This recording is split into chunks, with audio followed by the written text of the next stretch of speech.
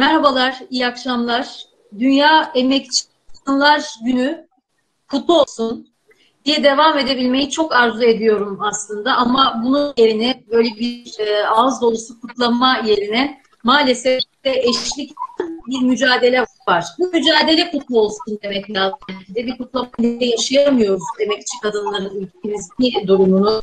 Ama e, mücadelemiz inanca, saygıya e, bir kutlama yakışır. İşte biz de bu akşam bunu konuşacağız. Eşitsizliklere rağmen birlikte olmayı, bu birlikteliğin gücünü konuşacağız. Çok kıymetli isimler bana katılacak. İçtenlikle onlarla sohbet edeceğim için sahiden çok duyum. E, hemen vakit kaybeden onları tanıtmak istiyorum. Tabii ki söze başlamadan önce ev sahibimize yani Beşiktaş Belediyesi'ne, Beşiktaş Belediye Başkanı Sayın Rıza Akbolt'a da çok teşekkür etmek istiyorum bizleri için. Kimler katılıyor? Belediyemizin kadın yöneticisi dememiz lazım. Bu çok önemli. Bol bol bu akşam kadın istihdamından e, bahsedeceğiz. Kadın liderlerden bahsedeceğiz malumunuz. Beşiktaş Belediyesi Başkan Yardımcısı Zeynep Karaman, senarist ve yazar Zehra Çelenk ki onun anlattığı, onun yarattığı kadınları çok merak ediyoruz, dinleyeceğiz. İç öğretim üyesi Sayın İpek Karacan, kadınlar ve gelir dağılımı, e, kadın emeğine dair söyleyecek çok söz var. Üstelik yeni bilgiler de var. Avukat Meriç Eyüpoğlu, onun ismini siz bugün ülke vicdanıyla özdeşleşmiş pek çok davada, duruşmada hep şu hepsine müdahil olmuştur. Hepsi için gönüllü çok kıymetli bir çabası var. Ve son olarak da müzisyen ve aynı zamanda Havle Kadın Derneği'nin kurucularından Sayın Rümeysa Çamdereli bize katılıyor. Sahiden çok heyecanlıyım bu buluşma için. Hayranlıkla takip ettiğim tüm bu isimleri dinleyebilecek olmaktan ötürü. O yüzden hız kesmeden başlamak istiyorum. İlk turda e, beşer dakikalık bir giriş yapalım e, anlatacaklarımıza isterim. E, Zeynep Başkan'la başlayalım o yüzden. Çünkü bugünlerde işte niye bir kutlama hali diyemiyoruz e, Kadınlar Günü'nde yaşadıklarımıza. Maalesef gelen haberler nedeniyle geride bıraktığımız ay Şubat ayı 28 çekti. 30'dan fazla kadını kaybettik. Kadın cinayetlerinde, şiddet nedeniyle. Bugün hala böyle haberleri konuşuyoruz. Dolayısıyla atılan somut kadınlar bizim için çok değerli. E, Zeynep Hanım'la başlamak istiyorum. Ben ziyaret etme fırsatı buldum. Beşiktaş'ın bir kadın dayanışma merkezi var. Sizin anlatmanızı rica edeceğim. Çünkü şunu biliyorum ki pandemi e, günlerinde salgında hepimiz evlere kapandık. Bundan da bol bol şikayet ettik. Ama aslına bakarsanız o evlerde eğer kadınlar huzurlu değillerse, can güvenlikleri tehlikedeyse neler yaşadılar çok haberimiz olmadı. Şöyle sorayım, bugün İstanbul'un sadece Beşiktaş değil, farklı ilçelerinden de bu kadın dayanışma merkezine geldiklerinde kadınlar tek başlarına ya da yanlarında çocuklarıyla birlikte ne bulabiliyorlar? Ee, ben de öncelikle şöyle başlamak istiyorum Duygu Hanım izin verirseniz. Ee, tüm katılımcılara çok teşekkür etmek istiyorum. Ee, bu geceyi bizimle dayanışarak geçirdikleri için çok teşekkürler. Aynı zamanda Başkanımız Rıza Akpolat'ın da çok selamlarını ve sevgilerini iletiyorum. Bu vesileyle Dünya Kadınlar Günü'nü de kutlamış olalım. Mutlaka sonunda zaten belirteceğiz ama ee, şimdiden herkese çok teşekkürler. Dayanışmaları için çok teşekkür ediyorum. Bizi yalnız bırakmadıkları için çok teşekkür ediyorum. Ee, bizim aslında pandeminin başı itibariyle en son etkinliğimiz yine 8 Mart'taydı. Daha doğrusu 7 Mart günü yapmıştık. Ee, onun sonrasında zaten pandemi başladı. E, pandemi hepimizi şaşırtan bir şey oldu aslında. Daha önce karşılaşmadığımız yani bu biçimiyle karşılaşmadığımız bir şey bir şeydi. E, aslında şöyle söyleyebilirim. Bizim belediyemizde kadına dair e, çalışmalar çok kısıtlıydı. Bir kadın dayanışma merkezimiz vardı.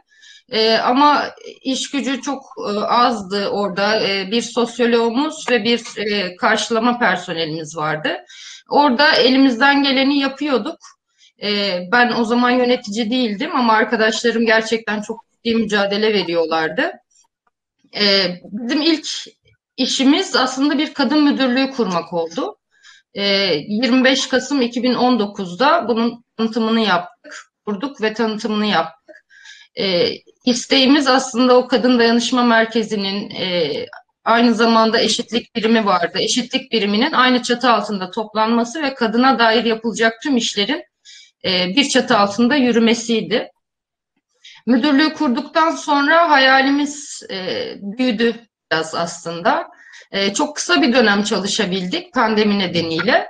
5-6 ay kadar ancak müdürlüğümüzü toparlamışken yeni yeni e, alana dair söz söyleyecekken pandemi girdi.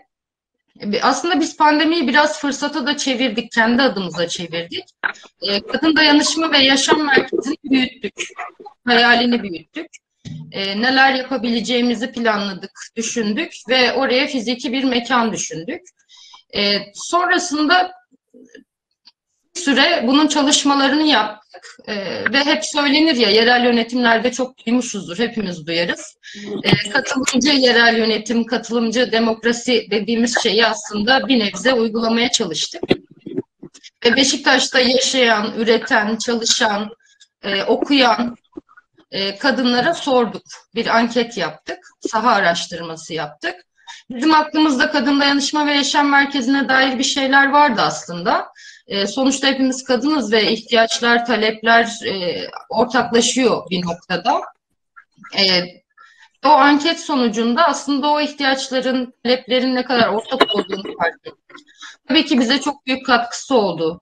Hiç aklımıza gelmeyen, e, düşünülemediğimiz, e, bazen işte yerel yönetimden ya da bir kamu kurumundan bakarken görediğimiz birçok şeyi gördük bu anket sonucunda. Sanırım katılımcı e, yerel yönetim dediğimiz şey de bu aslında. Yani orada yaşayan, üreten, okuyan, çalışan kadınlara sormak e, amacı da buydu zaten. Sonrasında fiziki bir mekan e, arayışına girdik. E, aslında orası mekanı bulduktan sonra e, keşke çok daha iyi koşullarda olsaydı diye düşündük ama e, yine en azından olarak ve ihtiyacı karşılamak anlamında e, gerçekten iyi koşullardaydı. Siz de geldiniz, ziyaret ettiniz zaten, gördünüz orayı. E, gerçekten çok büyük emekle e, inşa ettiğimiz bir süreçti. Pandemiyi böyle değerlendirdik. Orayı kısaca şöyle anlatabilirim. İki ayaklı bir yer. E, bir ayağa dayanışma, bir ayağa da sosyalleşme bir yaşam merkezi. E, şiddetle ilgili bir hikayesi olan e, ya da başka türlü bir dayanışmaya, desteğe ihtiyacı olan bir kadının e, gelip başvurabileceği, ihtiyaçlarını söyleyebileceği, anlatabileceği bir yer. Karşılama personelimiz var. Kadın geldiği zaman karşılı, e, karşılıyor kendisini ve randevu sistemiyle klinik psikoloğumuza yönlendiriyor. Klinik psikoloğumuz orada aslında sosyal çalışmacı olarak görev yapıyor. E, ihtiyaçlarını belirliyor. Bize başvuran kadının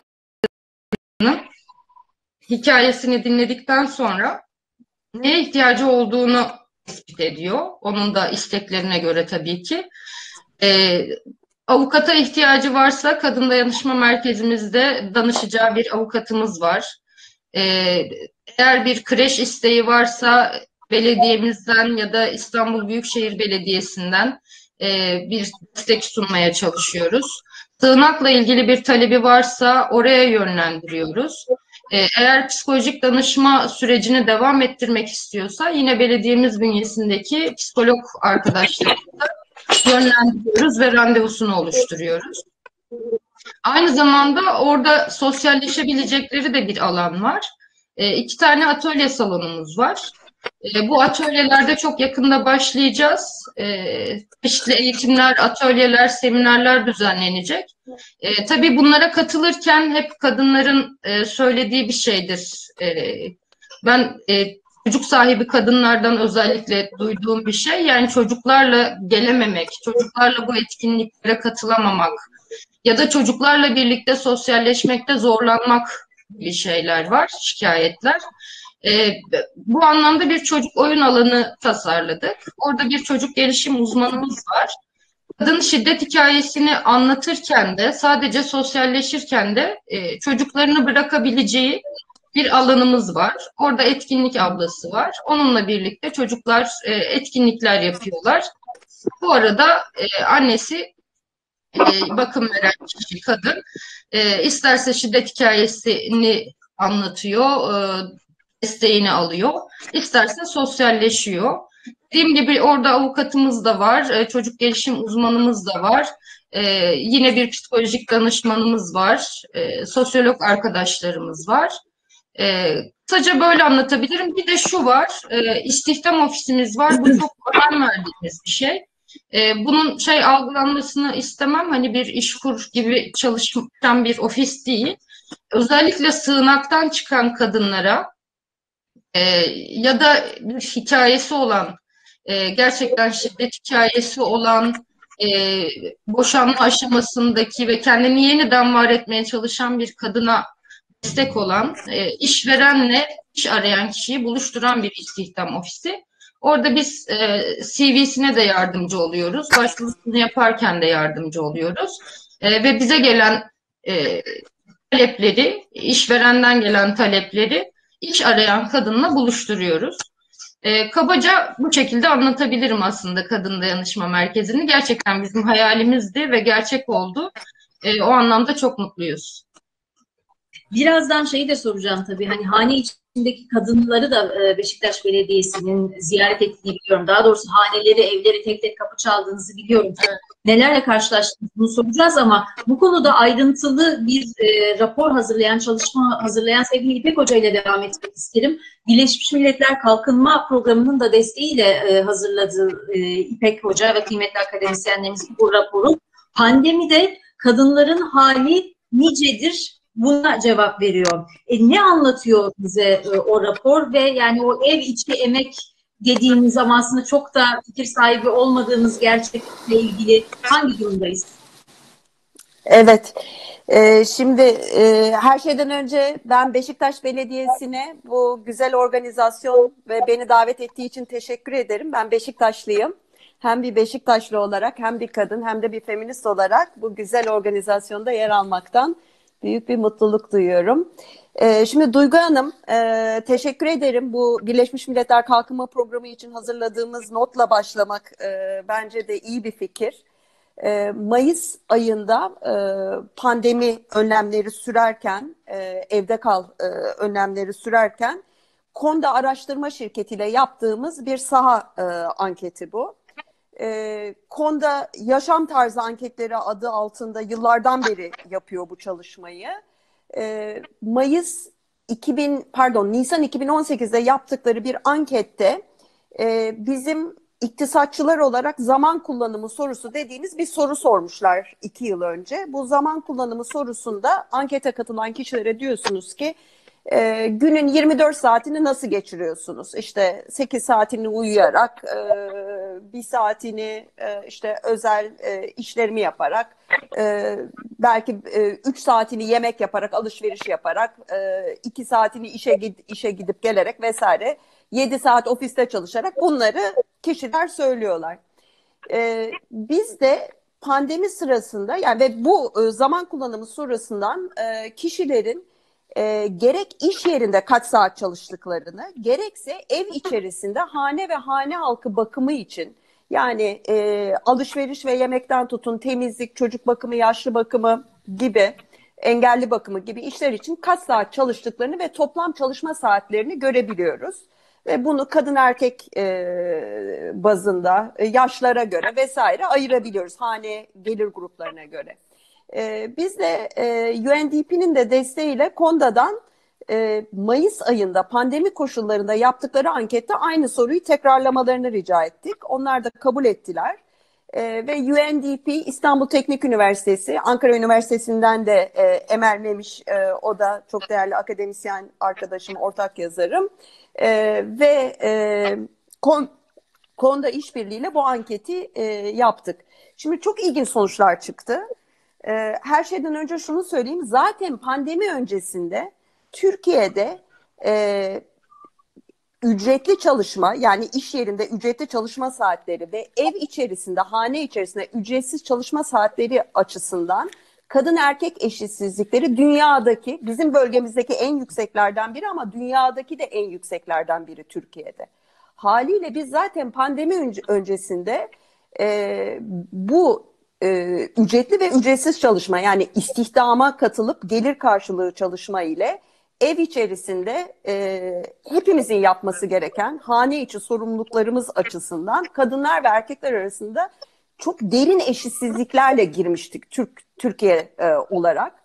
E, pandemi bir tek Türkiye'de değil tüm dünyada e, işte piyasadan e, satın alabildiğimiz gıdadan tutun, yemek hizmetlerinden tutun, muhtelif e, ev e, hizmetlerine kadar erişimi kısıtladığı için okulların kapanması, çocukların evden eğitime geçmesi falan vesaire gibi e, aile bireylerinin hastalanma riskinin artması gibi pek çok nedenle ev içerisindeki emeğe olan artışı arttırdı. Yani bir tek Türkiye'de değil diğer ülkelerde yapılan çalışmalara da baktığımızda ev içi üretime, biz buna hane içi üretim diyoruz. Hane içi ücretsiz üretime talepte bir patlama yaşıyoruz. Bugüne kadar dünyada yani modern ekonomi tarihinde görülmemiş bir şekilde çalışma saatleri piyasadan, ev dışından ev içine kayıyor. Türkiye'de bu artış hem daha fazla hem de kadın ve erkek arasındaki dağılımı çok daha eşitsiz. Yani bu artışın ne kadarını kadınlar absorbe etti, ne kadar erkekler absorbe etti diye baktığımızda çok daha eşitsiz. Size şimdi bir takım rakamlar vereceğim. Ortalama olarak kadınlarda hane içi ücretsiz çalışma saatleri pandemiyle birlikte zaten yüksek pandemi öncesi pandemiyle birlikte takriben bir buçuk saat arttı. Arttığını görüyoruz. Piyasadaki ücretsiz çalışma saatleri takriben günde yarım saat azalıyor. Yani kadınların toplam çalışma saati günde ortalama bir saat artıyor. Haftaya bunu hafta hesabına şey yaparsak kadınlar haftada 7 saat yani o da takriben bir iş günü desek e, pandemiyle birlikte bir iş günü daha fazla çalışmaya başlıyorlar. Erkeklere baktığımızda erkeklerde de hane içi çalışma saatleri e, bir saate yakın 0.8 saat artıyor ki bu aslında biz zaman içerisinde erkeklerin hane içi çalışma saatlerine baktığımızda çok yavaş bir gelişim görüyoruz Türkiye'de. Pandemiyle aniden erkeklerin çalışma saatlerine de hane içi ücretsiz çocuk bakımı ev işinde 0.8 saat yatsınamayacak bir artış ama kadınlara göre kadınların yarısı kadar. Ee, ücretsiz çalışma saatleri erkekler pandemi öncesinde çok daha fazla istihdamda bulundukları için ücretsiz çalışma saatleri ortalama erkeklerde günde 2 saat azalıyor ücretli ücretsiz toplam ikisini topladığımızda toplam çalışma saatleri ise günde takriben 1.1 saat, 1 saat civar, 1 saatin üstünde azalıyor. Yani kadınlar pandemiyle birlikte haftada 7 saat daha fazla çalışmaya başlarken erkekler toplamda 7 saat daha az çalışmaya başlıyorlar. Ee, ben de hep bu sonuçları sunarken şunu diyorum işte pandemiyle birlikte çok gördük e, basında, medyada manşet olarak pandemiyle ekonomi durma noktasına geldi. Ben de hep diyorum ki kimin ekonomisi durma noktasına geldi? Kadınların ekonomisi bırakın durma noktasına gelmesini giderek e, artmış ve hızlanmış. Kadınlar pandemiyle birlikte aşırı bir e, çalışma e, altına, yükü altına girmiş durumdayken erkeklerin ekonomisinde belli ki toplam çalışma saatlerinde bir azalma söz konusu, bir duraksama söz konusu yani ve çalışma saatlerinde de e, alışılagelmedik bir şekilde ücretli istihdamda çalışmaktan ev içi çalışmaya erkeklerde de bir geçiş görüyoruz. Şimdi bir nokta daha var. O enter iki nokta daha. İzninizle onları da söyleyeyim. Ondan sonra da zamanımı çok aşmamak adına ikinci turu bekleyeyim. Ee, birinci ilginç e, nokta e, istihdamda olan yani pandemi koşulları altında iş yerinden çalışmaya devam eden kadınlar ki onlar çoğunlukla kimler? Bizim temel işçiler. Hani bu pandemiyle bir terminoloji girdi ya yaşamımıza temel işçiler. Hani dünya yansa da çalışmaya devam etmesi gereken işçiler işte sağlık çalışanları, eğitim çalışanları, gıda perakendede çalışanlar ki Türkiye'de aslında dünyanın genelinde de olduğu gibi eğitim ve sağlıkta çalışanların çoğunluğu üçte ikisi kadın. Bu hani dünya yansa da istihdamda kalmaya devam etmesi gerekenlerin e, önemli bir kısmı kadınlar. Onlara baktığımızda ne oluyor çalışma saatlerine diye yani istihdamda işlerini kaybetmiyor bunlar. İş yerinden çalışmaya devam ediyorlar. Onların iş yerindeki çalışma saatleri günde takriben iki saat artmış.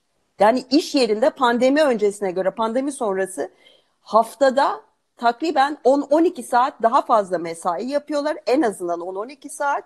Bu arada enteresan bir şekilde ev içindeki çalışma saatleri de artıyor. Çocuklarının e, evden eğitime geçmesi, işte ev dışı hizmetlere e, erişimin e, azalması gibi ortalamaya göre daha az. Ortalama günde yarım saat ücretsiz emekleri artıyor. Toplam çalışma saatleri günde iki buçuk saate yakın artıyor. E, ve bu aslında kadınlar açısından e, istihdamda kalmaya, pandemi koşullarında istihdamda kalmaya devam eden kadınlar açısından sürdürülemeyecek bir e, iş yaşam dengesi, iş aile yaşamı dengesinin giderek zorlandığını e, ve e, bunun da zaten istihdamdan büyük kopuşlar yarattığını görüyoruz. Kadınlarda 2019'a göre 2020 son TÜİK'in yayınladığı rakamlara baktığımızda tam 1 milyon kadın iş gücünden kopmuş durumda. 10,5 milyondan 9,5 milyona azalmış durumda. Bu koşulları yani hem işsizlik, işlerin olmaması hem de kadınların üzerindeki bu çifte mesai yükünün artması e, nedeniyle.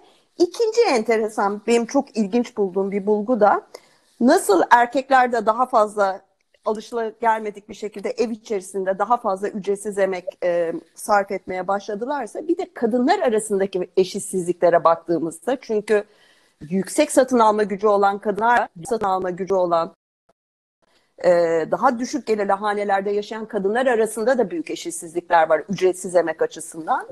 Kadınlar arasındaki eşitsizliklerin azaldığını görüyoruz. Şöyle bir azalma yüksek gelirli hanelerdeki kadınlar da ev içerisinde çok daha fazla çalışmaya başlıyorlar ücretsiz olarak. Yani satın alma gücü aslında pandemiyle birlikte, salgınla birlikte e, bir e, şey o e, ücretsiz emeği düşürücü bir faktör olmaktan çıkıyor. Çünkü satın alma gücünüzden bağımsız olarak okullar kapalı, işte e, restoranlar kapalı vesaire.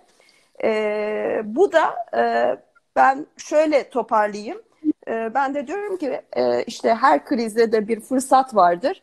Belki erkeklerin hane içinde daha fazla ücretsiz emek sarf etmeye başlaması, yüksek gelirli kadın ve erkeklerin hane içindeki işleri daha fazla yapmaya başlamasıyla bu bizim bakım emeği dediğimiz, bakım ekonomisi dediğimiz olgunun önemi belki toplumun geneli tarafından daha iyi anlaşılması için pandemi, bu salgın bir fırsat sağlıyor. Ve bu yüzden de eğer bu oluyorsa bu konudaki bir bilinç artışı, değer verme e, yönündeki tavır değişikliği o zaman pandemiyle birlikte e, bakım ekonomisine yönelik politikaların toplumun geneli tarafından kabul görmesi, önceliklendirmesi daha olasılıklı hale gelebilir. O da olumlu tarafı. Umuyorum e, bu pandemiden, bu krizden böyle bir olumlu çıktı da elde edebiliriz belki. Ben bu arada tabii dinlerken belki izleyicilerimiz fark ediyor sık sık böyle e, önümdeki kağıtlara e, bakıyor gibiyim. Oraya not alıyorum. Çünkü o kadar e, kıymetli ki söyledikleriniz. Bütün katılımcıların öyle. Çok şey öğreneceğim de bir oturum aynı zamanda bu. O yüzden devam etmek istiyorum. Bu buluşmaya hazırlanırken e, hep onun müziklerini dinledim. Yayın öncesi de söyledim. Şimdi kendisini dinleyecek olmaktan büyük mutluluk duyuyorum. Çünkü e, bütün kadınların e, halletmeleri gereken meselelerin yanında temel bir meselesi daha var. Kendisi gibi olma, kendisi gibi kalma, kendi gerçekleştirme meselesi. Bu çok e, önemli. E, bunu siz yaptığınızda ya da ben yaptığımda o kadar mesele olmuyor ama Rümeysa Hanım yaptığında bir Müslüman olarak, bir feminist olarak, bir müzisyen ve bir anne olarak bu işte bütün kimlikleri her taraftan bir sorguluyorlar ama hem öyle hem öyle nasıl oluyor diyorlar. Bu ilk sorumu çok içtenlikle merak ederek soruyorum. Bize de örnek olacağını biliyorum. Ee, bir kadın olarak işte bu benim ve siz bunu değiştiremezsiniz demek güçlü bir ifade. Bunu nasıl başardınız? Ee, çok teşekkürler öncelikle. Ee, çok güçlendirici bir sorun, sorunun kendisi güçlendiriciydi. Ee, çünkü e, kadınlar bilirsiniz kendi hikayelerinin enteresan hikayeler olduğunu çok fark etmezler onlara söylediğinizde. Aslında her kadının hikayesinde çok büyük direniş, çok büyük mücadele hikayeleri var. Benimki birazcık e, son dönemi dijital olanakları ve e, zamanın kutuplaşmasının sağladığı zeminlerle daha görünür hale geldi sadece. Ama onun dışında her kadın hikayesinde çok büyük mücadeleler var. O yüzden çok teşekkür ediyorum bu güzel e, açışınız için de. E, ve bugün burada olmak, bu konuşmacıların arasında olmak benim için ayrıca gurur verici. E, herkesin çalışmalarını ayrı ayrı takip ediyordum öncesinde de. O yüzden çok güzel bir e, toplamdayız. E, yani aslında temelde e, var olma mücadelesi yani kendi anlam kendi e, ifademde de var olma mücadelesi e, farklı kimliklerin bir aradalığı e, anlamında bir mücadele aslında. Yani herkes e, tek bir kutbun tek bir tarafında olduğunda e, mutlu olan bir sistemde yaşıyoruz. Bu e, atarkinin de içine girdiği bir durumda aslında kadınlar arasında da böylesi bir ikiliyi yaratmaya çalışıyor ama son dönemde oldukça açtığımızı düşünüyorum. Özellikle e, kesişimsellik tartışmaları, öznelik tartışmaları son dönem birçok farklı tartışmayla birlikte. Ee, belki de son bir senenin genel teması da e, pandemiyle mücadele de bu anlamda önemli bir zemin olmuş olabilir. O anlamda çok e, farklı bir tecrübe yaşadığımızı hissediyorum son zamanlarda. Peki, o zaman hemen bir takip eden soruyla devam edeceğim ama e, bir önce bütün e, misafirlerimize bir e, merhaba demek seslerini duymak isterim.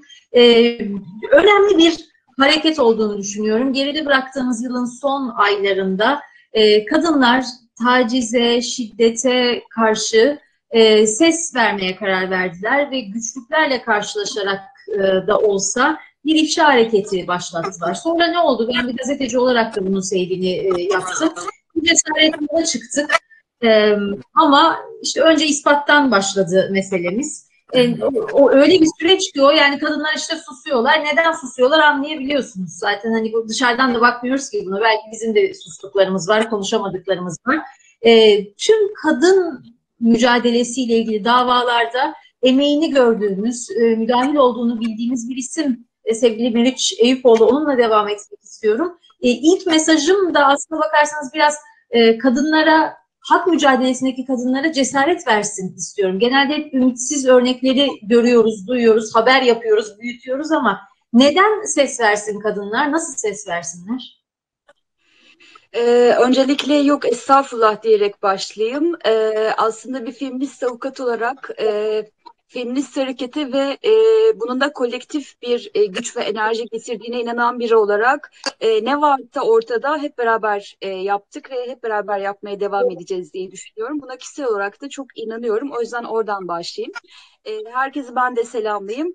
E, çok teşekkürler. E, yaşasın 8 Mart. 8 Mart'ımız kutlu olsun. Bu programın yayınlandığı saatlerde biz İstanbullular en azından 19. Feminist Gece Yürüyüşü için Taksim'de olacağız.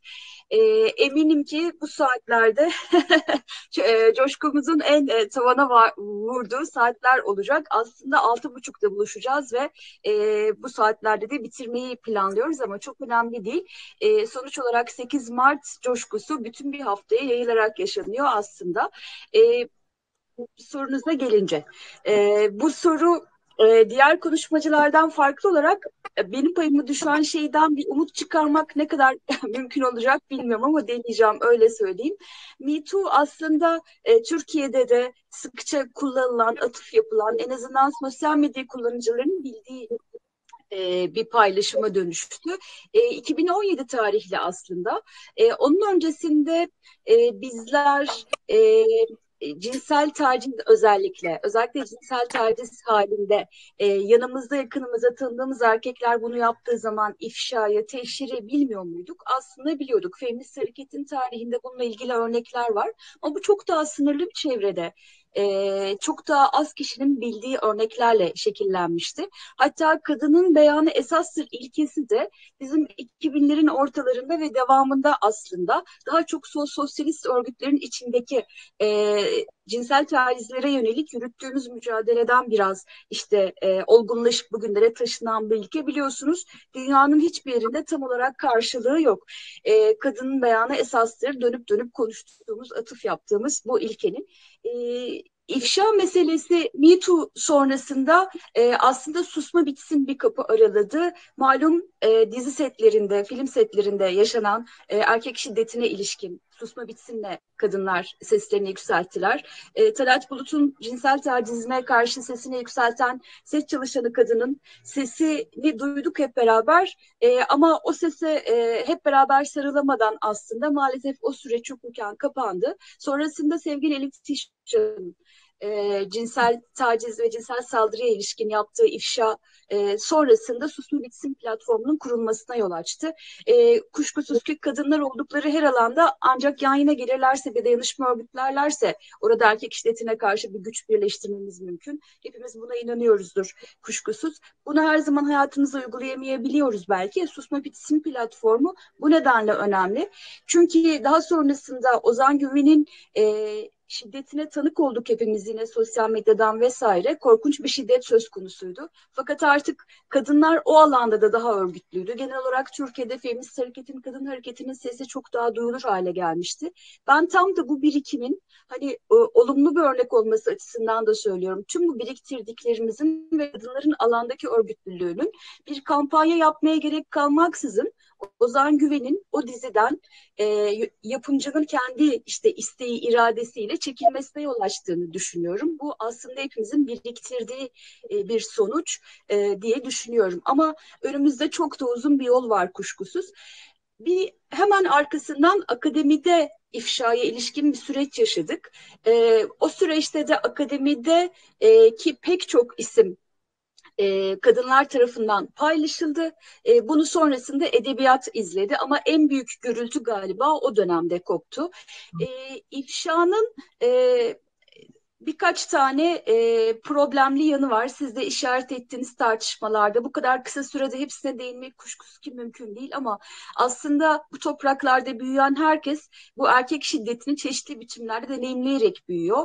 A, e, akşam geç bir saatte eve giderken takip ediliyor muyum diye sağına soluna bakmamak, bir toplu araca, toplu taşıma aracına bindiğimiz zaman işte yanınızdaki erkekler kendini sıkınmamak, e, hepsi kadın olarak ülkede yaşadığımız deneyimler hangi yaşta olursak olalım, e, nerede, hangi şehirde nasıl hayatlar yaşarsak yaşayalım. Dolayısıyla cinsel taciz diğer cinsel şiddet türleri de bizim bildiğimiz şeyler.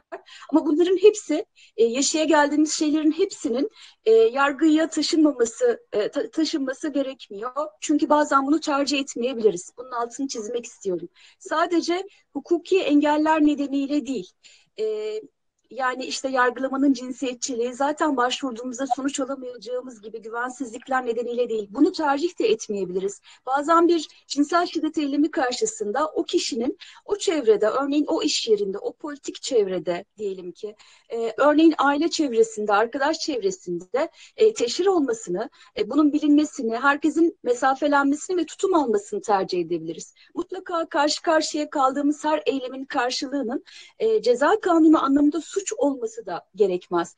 Artık pek çok psikolojik şiddet türünü tartışıyoruz. Bunların bir kısmının şiddet olduğundan emin olmamakla beraber kendi adıma ama bunların hepsinin ceza kanunu anlamında suç olmadığını ama bunların bir erkeklik davranışı olduğunu, dolayısıyla aslında hayatımızda olmamasını isteme hakkımız olduğunu, sadece tek tek bizlerin değil, çevremizdeki herkesin de tutum almasını beklemek ve istemek hakkımız olduğunu, bunun cinsiyetçilikle mücadelede önemli bir, bir deneyim olduğunu da ifade etmek istiyorum.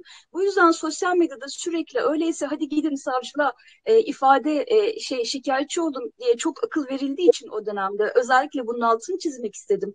E, hayır, İfşa da bir politik yöntemdir. Karşı karşıya kaldığımız erkek şiddetini teşhir etmekte, bu şiddete karşı mücadelede bir araçtır. Bazen bu yöntemi kullanırken sadece muhatabımız karşıdaki erkek değil, dediğim gibi onun çevresidir, başka kadınlardır. Bunu bilip sonrasında onunla temas etmemeleri, işte arkadaşlık, sevgililik her ne dersek buna ilişkin önlem almaları amacıyla da yaparız bunu. Dolayısıyla birden fazla nedenimiz olabilir. Her seferinde bize adliyeyi göstermek gerçekçi ve doğru değil.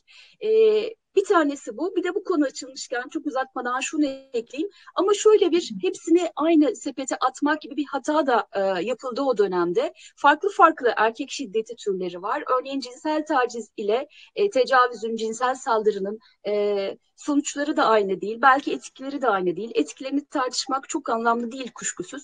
Ama aslında e, her şey aynı e, torbanın içine atıldığı zaman tüm bunları ayırt edemez ve toplamının hepsinden cinsel taciz diye bahseder hale geliyoruz. Oysa bunlar arasındaki ayrımlara da ihtiyaç var. E, üçüncü bir şey de ifşanın tüm bunları ortaya dökmenin bir sürü yararı var. Bu da uzun konuşmayı hak eden konuşulmayı hak eden bir konuş, kuşkusuz. Ama sosyal medyanın bir kadın grubunda bunları konuşmaktan, geçmişteki feminist deneyimlerden farklı olarak tek tek bırakan ve yalnızlaştıran bir doğası da var. O yüzden e, sadece sosyal medya mecralarında bunu paylaşan kadınlar e, yer yer hedefte oldular ağır saldırılara da maruz kaldılar ya bu, bunlar olmasa bile kendilerini belki yalnız hissettiler. E, bu yüzden sadece bu kanallarda değil aslında e, dayanışmayı örebileceğimiz, e, birbirimize değebileceğimiz kanallarda da tüm bunları konuşmaya ihtiyacımız var. İşin bu kısmında eksiyseniz diye toparlayayım.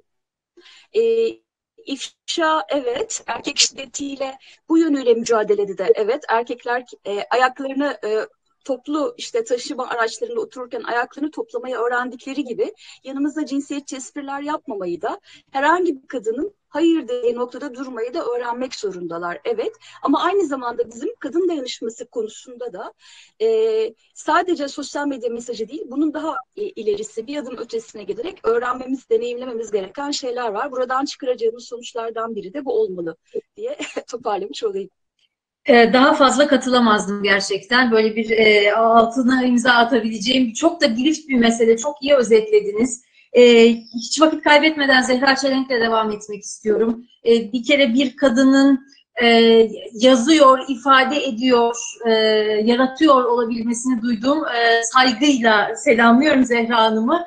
O da e, ifşa hareketini de özellikle takip etti bu konuda yazılar da yazdı. Hem bunun seyrini nasıl bulduğunu soracağım. Hem de çok hoşuma giden yazılarından biri bu şey var yani güçlü kadın olabilmek. Ben bunu düşünüyorum son zamanlarda. Ben güçlü bir kadın mıyım? Öyle mi tarif etmek lazım diye. Yani eşit koşullarda e, kapışmıyoruz, yarışmıyoruz ki erkeklerle. Bir, de bunların üzerine bir de güçlü olmamız gerekiyor. Yani o o sıfatı da kazanmamız gerekiyor. Halbuki işte e, az önce söyledik erkekler metroda ayaklarını toplayarak otursunlar. İndiniz o metrodan, havada biraz karardı, eve doğru yürüyeceksiniz. Şimdi biriyle e, konuşuyor numarası yapmak zorunda olan biz kadınlarız. Dolayısıyla e, bence gücümüzü sınamamalarında fayda var. Biz eşit koşullarda yarışmıyoruz. E, sizin.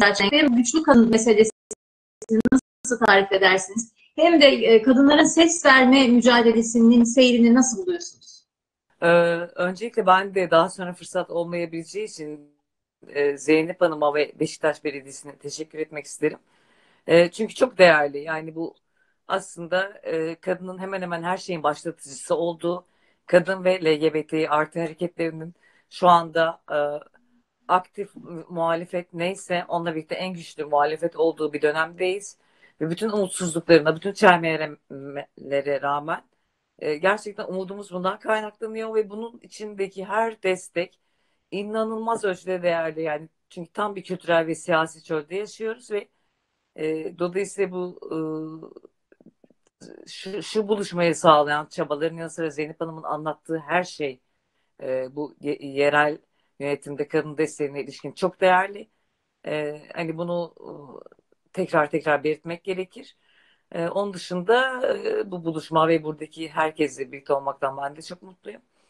Ee, şöyle söyleyeyim yani bu ifşa falan meseleleri, güçlü kadın o kadar veçeli konular ki yani her şey bizim kucağımıza bırakılıyor diyeyim bu güçlü kadın meselesinde. Kadınlar zaten güçlü. Yani hani kadının güçlü olmadan hayatta kalması imkansız neredeyse öyle diyeyim. Herhangi bir varlık gösteren ben buradayım diyen bir kadının güçlü olmaması zaten düşünülemez. Ee, hani orada ama şöyle bir ikili şey tricky bir e, mevzu var. Yani cesaret, güç, adım atma, hayatta kalma, ürün verme her şey bizim kucağımızda ve her şeyi çok mükemmel biçimde yapmak zorunda değiliz aslında. Ee, hani biraz bu şey e, ataerkil söylem karşısında bir de bir pompalanan böyle bir şey var. Her zaman her şeyi yapabilen, her konuda başarılı olabilen, ev alanını becerebilen, iş alanını becerebilen e, ve bütün bunlarda hiç aksamayan bir kadın tipi de biraz öne çıkarılmaya çalışılıyor ya. Yani güçlü kadın bu değil aslında hani dünyanın şu durumunda kendini ortaya koyabilmek, kendini belli varoluş biçimlerinde gerçekleştirmeye çalışmak ve bununla birlikte hayatta kalabilmek zaten başlı başına bir güçtür. Bu, bu anlamda bütün kadınlar güçlüdür. Erkek olmayan güçlüdür diyeyim. Hani bu burada çünkü çok daha kapsayıcı bir söyleme de sahip olmamız lazım. E, bu son günlerdeki tartışmalar ve durumların gösterdiği gibi aslında erkek olmayandan bahsediyoruz ve bunun içinde her zaman LGBTİ artıyı da saymamız gerekiyor çok çok daha güçlü biçimde aslında bir baskının hissedildiği öbür e, alanları saymamız gerekiyor. E, bunun dışında e, hani bu güçlü kadın ve bunun edebi ve sinematik temsilleri dışında son olarak Meriç Hanım oradan girdiği için ve bizim alanlarla çok ilgili olduğu için bu ifşa ve susma bissinden isterseniz biraz devam edeyim bu ilk turda. E, şöyle bir şey oldu ya yani hani biz aslında ezber bozuldu. Hani kadın olmak bin yıllardır bir e, idare etme mücadelesiydi ve herkes için öyleydi. Hep başka şeyler çok öncelikliydi. Bu politik hareketler içinde de e, herhangi bir olağan varoluş düzleminde hep başka şeyler öncelikliydi ve bir kadınlık idare etme, hizada kalma, kendini hep başkalarının gözünden görerek mümkün mertebe var olabilme ve hizada kalma biçimiydi. E, ve artık bu çerçeveyi e, taşıran, bu çerçeve içinde kalınamayacak, bu çerçeve içinde kalınırsa hiç kimsenin hayrına olmayacağı bir düzleme geldik. Bu siyasetler üstü e, ve aslında hani bir, bir ner, neredeyse hani bunun adını koysak da koymasak da tek yol feminizm ve kapsayıcı bir feminizm diyebileceğimiz bir e, ortak zemine geldik ve bunu da her alanda yaşadık aslında. Hani kültür sanat alanında, işte bu kadın cinayetleri alanında yani 65 günde 67 kadın öldürüldü. E, ve bu hala zaman zaman e, çok doğru olmayan biçimlerde tartışılsa da dikkat çekmemesi imkansız bir şey. Yani insanlar buna tepki gösteriyor. E, burada işte şöyle sorunlarımız var hala. Bir alf alfabemiz eksik. Yani bu taciz, şiddet, e, istismar bu konular dünyada çok uzun süredir tartışılsa da e, dünyada da bizde hele e, aslında görece hala böyle yeni otur, oturan, yeni ım, kavramlaşan şeyler. E, ve bin türlü tartışma alanı açıyor. İşte bu kadın beyanı esastır dendiğinde e, tabii şu da var, o bir ayrıcalık var. Hmm, yüzyılların ayrıcalığı, kimse bunu terk etmek istemiyor. Bunu terk etmek istemeyen, bu statükonun içinde kalmak isteyen kadınlar da var aynı zamanda. Korkutucu bir şey çünkü değişim. Kaçınılmaz olduğu kadar da. E, dolayısıyla da mesela bu kadın beyanı esastır ya da susma bitsin, tacizler ifşa edilsin dendiğinde bunu aslında bunu bu evrimsel çok önüne geçecek biçimde ifade edilebildi başlangıç itibariyle. E, bu da neydi? Yani hemen o şey o binde birlik ihtimaller hani aslında doğru mu? Kadın beyanı esastır dendiğinde aslında kadınlar hep doğruyu mu söylüyor? O iftiraları olabilir mi? E flört de mi edemeyeceğiz? E, ne flörtür ne tacizdir gibi böyle aslında hani e, biraz lüks malzeme üzerinden konuşulmaya başlandı. E, ya burada bunun ayrımları o kadar aslında belirsiz ya da mulak değil. E, bu kadın beyanı esastır. Hani hukukçular çok daha iyi açıkladılar bunu. E, dendiğinde ne kastediliyor? Hani cinsel suçlarda ya da kadına yönelik şiddette aslında sesini duyuramayan bir kesim var. E, ve delillerin delil kabul edilmediği, e, çok karmaşık bir sistemce örtbas edildiği bir durum var. Burada dolayısıyla bir kadın sesini en nihayet çıkarabildiğinde bunun duyulması ve kovuşturma sürecinin başlamasına dair bir şey bu sadece. Yani bunun sonucunun ne olacağı belli olmaz ama bir kadın ben şiddet gördüm, tacize uğradım dediğinde ve sesini çıkarabildiğinde bu araştırılsın, kovuşturulsun ee, ve bu kendiliğinden bir delil niteliği taşısın demekti. Ee, çünkü çok zor çıkan bir sesti bu. Ee, çünkü başta dediğim gibi hani kadın olmak hep bir hizada kalma uğraşı ve bir tacizin taciz gibi algılanması. Kim olduğumuz da çok önemli değil. Yani biz ailece ya da şeyce çok daha ayrıcalıklı, bunlarla görece az karşılaştığımız bir kesimden de geliyor olabiliriz. Çok daha bu konuda yaralanmaya açık bir yerden de geliyor olabiliriz. Rümeysa Hanım'ın dediği gibi çok daha fazla zor ve kesişim ve anlaşılması e, zor bir yerden de ses vermeye çalışıyor olabiliriz. Bunlar önemli değil. Bir ortak nokta var. E, yani bir kadın e, bununla karşılaştığında çok zor ses çıkarabiliyor. Çünkü sürekli bir parmak sallayan iç ses var. Yani aile var, çevre var, sevdiklerimiz, korumak istediklerimiz var. Ve en önemlisi e, bu gibi durumların hepsinde öncelikle kadını suçlu hissettirmeye yönelik. Yani kadına yönelik her türlü şiddet ve taciz öncelikle kadının kendi kirli ve suçlu hissetmesine yönelik bir şey olarak kodlanmış. E, dolayısıyla bununla karşılaşan kadın zaten bunu algılayamıyor bile çoğunlukla. Ben mi bir hata yaptım? Ben mi bir açık kapı bıraktım? Hani o toplumsal ön yargılar o kadar da bizim kendimizi bir çırpıda azade, azade sayabildiğimiz şeyler değil. Dolayısıyla yani bütün bunlar içinde ses veren kadın e, çok büyük ihtimalle çok e, fazla aşamayı aşarak veriyor. ve buna rağmen veriyor ve bunun yanında olmak gerekir. Zaten işte bu dünyadaki Me Too ve bizdeki susma bitsin. Özellikle bu kültür sanat çevrelerinden yükselen giderek yayılan işte akademiye uzanan. E, bunun anlamı buydu. E, ve burada olmamız gerekirdi. Yani bu sesin duyulmasını sağlamamız gerekirdi. Bu çok önemliydi. E, bu örtbas mekanizmalarının işlememesini.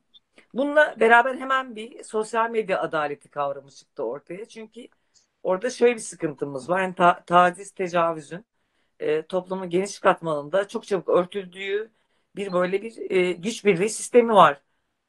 E, do dolayısıyla da hani adalete dair bir inançsızlık, adaletin sağlanabileceğine bu e, dair bir inançsızlık var. Ve dolayısıyla sosyal medyada bir ses çıktığında bu neredeyse bunun tek temsilcisi haline gelebiliyor. E, bunun da güçlü ve sakıncalı yanları var. Bunun yanı sıra ifşa kültürünün de sakıncalı yanları var. Aslında bunu en çok sahiplenenler dahil herkes bundan da bahsetti. Ama öncelikle bu oturtulana kadar bu sesin duyulması gerektiğini savunduk. Ee, hani bu sakıncalarından önce bu sesin, çıkmaya başlayan sesin duyulmasının çok büyük öneminden bahsettik. Ee, çok uzatmadan galiba ilk tur için zamanımız sınırlı. Hani ben genel olarak galiba bu şeyde ee, niye? Yani çünkü bu imtiyazın e, ve bu konuşulamamanın, bu suskunluk perdesinin sonsuz olmadığını kanıtladı. İpek İlk Karacan'la devam etmek istiyorum. Ee, hem bugüne dair e, onun genel fikirlerini, düşüncelerini de almak için çünkü erken e, ayrılacak, ayrılmak durumunda aramızda. Hem de onun çok hoşuma giden bir ifadesi var. Diyor ki nasıl biz çevre için yeşil ekonomiyi konuşuyorsak eşitlik içinde daha adil bir düzen içinde bir mor ekonomi kavramını konuşmamız gerekiyor. E, ben tabii mor ekonomi bu haliyle kendisinden duydum ve çok sevdim bu, bu tarifi. Bir kere daha tarif etmesini istiyorum. E, nedir mor ekonomi kadın? Evet, mor ekonomi benim yeşil ekonomiden e, ve feminist hareketin sembolik rengi olan mordan ilham alarak e, öne attığım e, bir şey, bir kavram. Aslında başında daha sloganvari bir şekilde böyle toplumsal cinsiyet eşitlikçi bir ekonomi tahayyülünü ifade etmek için e, ortaya atmıştım bir yeşil ekonomi konferansında. Fakat sonra o kadar ilgi gördü ki e, ben bunu giderek e, geliştirerek e, detaylarını altını doldurmaya başladım. Bir e, mor ekonomi modeli e, ortaya çıktı. E, çok kısaca mor ekonomi e, bakım emeğini e, ilk turda da bahsettiğimiz bakım emeğini e, ekonominin merkezine koyan e, bir ekonomi tahayyülü. Yani bakım emeğine hak ettiği değeri atfeden e, ve hane içi üretime e, bakıma muhtaç çocuklar, yaşlılar, engelliler, hastalar e, bu grupların ve aynı zamanda sağlıklı yetişkinler olarak e, tüm hane halkının e, bakımı için gerekli olan e, çalışmayı, emeği merkezine koyan bir ekonomi. E, şimdi nasıl olacak? Bu merkeze koymak neyi ifade ediyor? Dört tane temeli var e, aslında. Bir tanesi e, bakım emeğinin bir kısmını e, sosyal alana çıkarmaya yönelik, kamusal alanda icra edilmesini sağlamaya yönelik ulusal bir sosyal bakım hizmetleri altyapısı diyorum ben. Yani hanelerin satın alma gücünden bağımsız olarak eşit olarak ulaşabilecekleri her yerde nerede yaşıyor olurlarsa olsunlar ulaşabilecekleri kaliteli e, okul öncesi çocuk bakımı ve eğitimi hizmetleri, kreşler ve anaokulları, gündüzlü yaşlı bakım. Biz yaşlı bakımı deyince hep aklımıza yatılı hizmetler, huzur evleri geliyor. Halbuki dünyada o kadar farklı ve çeşitli gelişmiş ülkelerde yaşlıların ihtiyaçlarını, bakım ihtiyaçlarını desteklemeye yönelik e, o kadar değişik hizmet türleri var ki gündüzlü, kısmi zamanla aileleri destekleyen e, yaşlı bakım hizmetleri, engelli e, bakım hizmetleri bizim ülkemize gene e, çok az yatırımın olduğu ve çok e, erişimi çok zor. Sadece satın alma gücü yüksek kişiler için erişimin biraz daha kolay olduğu bir alan. Bütün bu bakım hizmetlerini profesyonel hizmetler olarak erişebileceğimiz bir ulusal sosyal bakım hizmetleri altyapısı. Bu en önemli temellerinden bir tanesi mor ekonominin. İkincisi e, biz bu e, bakım meselesini aslında bazen feministlerin talepleri çok yanlış anlaşılabiliyor. bakım hizmetlerinin hepsini kamusal sosyal alana taşıyıp ev içerisinden ücretsizden ücretliye dönüştürmek istemiyoruz. Yani eğer çocuklarımızı zaten haftanın 7 günü günü 24 saati kreşlerde bırakabileceksek neden doğuralım değil mi? Yani bu e, şey e, istemediğimiz bir toplumsal ta, e, şeye doğru dönüşüme doğru e, dönüşüme yol açar. E, önemli bir kısmı o bakım işinin, bakım emeğinin ücretsiz formda hane içinde kalmaya devam edecek ve bu arzu edilir bir şey aslında. Fakat oradaki temel sorunsal hane içerisindeki bu ücretsiz çalışmanın kadınlar ve erkekler arasındaki eşitsiz dağılımı. O yüzden mor ekonominin ikinci önemli temeli de iş gücü piyasasının regülasyonu, iş yaşam dengesi politikalarıyla regülasyonu. Öyle ki erkekler için de babalık izni, erkekler için de e, esnek çalışma, bakım yükümlülüğü olan erkekler için esnek çalışma, gerektiğinde kısmi zamanlı çalışma gibi erkeklerin de iş e, yaşamlarını ve e, aile içerisindeki, hane içerisindeki sorumluluklarını, e, iş sorumluluklarını eş zamanlı yerine getirebilecekleri şekilde iş yaşam dengesi politikaları ki böylece e, bunlar sadece kadınlar üzerinden kurgulanan değil, gerek e, tüm bakım sorumluluğu olan tüm kadın ve erkek işçiler ve çalışanlar üzerinden kurgulanan eşitlikçi bir iş gücü piyasası regülasyonuna e, dönüşebilsin. E, üçüncü ayak çok önemli. Az fazla da konuşulmuyor. E, feminist iktisatta son dönemde, son 10 yılda, e, 10-15 yılda belki giderek önem kazanmaya başladı. Makroekonomi. Makroekonomik politikalar e, tabii ki e, bir e, ekonominin istikrarını sağlamak, güçlü büyümesini sağlamak kadın erkek herkes için önemli. Fakat kadınlar genelde istihdamdan daha çok dışlanan kesim olduğu için, daha kırılgan kesim olduğu için aslında güçlü ve istikrarlı bir makroekonomi kadınlar için erkekler de erkekler için olduğundan daha da önemli. Ee, mor ekonominin makroekonomi e, alanında söylediği sözler de e, insana yaraşır işler yaratan büyümeyi merkezine koyan bir makroekonomik planlama ve makroekonomik politikalar e, bütünü. E, güçlü büyümeyi, güç, istihdam yaratan sadece yap, e, kozmetik bir büyüme hızına değil ama istihdam, kaliteli istihdam yaratan e, makroekonomik politikaları merkezine koyan bir e, makroekonomik politikalar bütünü. Dördüncü ayakta kırsalı, kırsaldaki kadını içeren e, ayak mor ekonominin çok önemli. Ee, bizim ülkemizde özellikle gelişmekte olan e, o bakım emeğinin önemli, ücretsiz emeğin önemli bir kısmının kırsaldaki kadınlara ait olduğu, e, işte e, su toplamaktan, e, yakıt toplamaktan vesaire e, bu tip ücretsiz işleri de içeren kırsal alanda, az gelişmiş kırsal alanlarda e, ücretsiz emeğin önemli bir kısmı bu e, tip işleri içeriyor.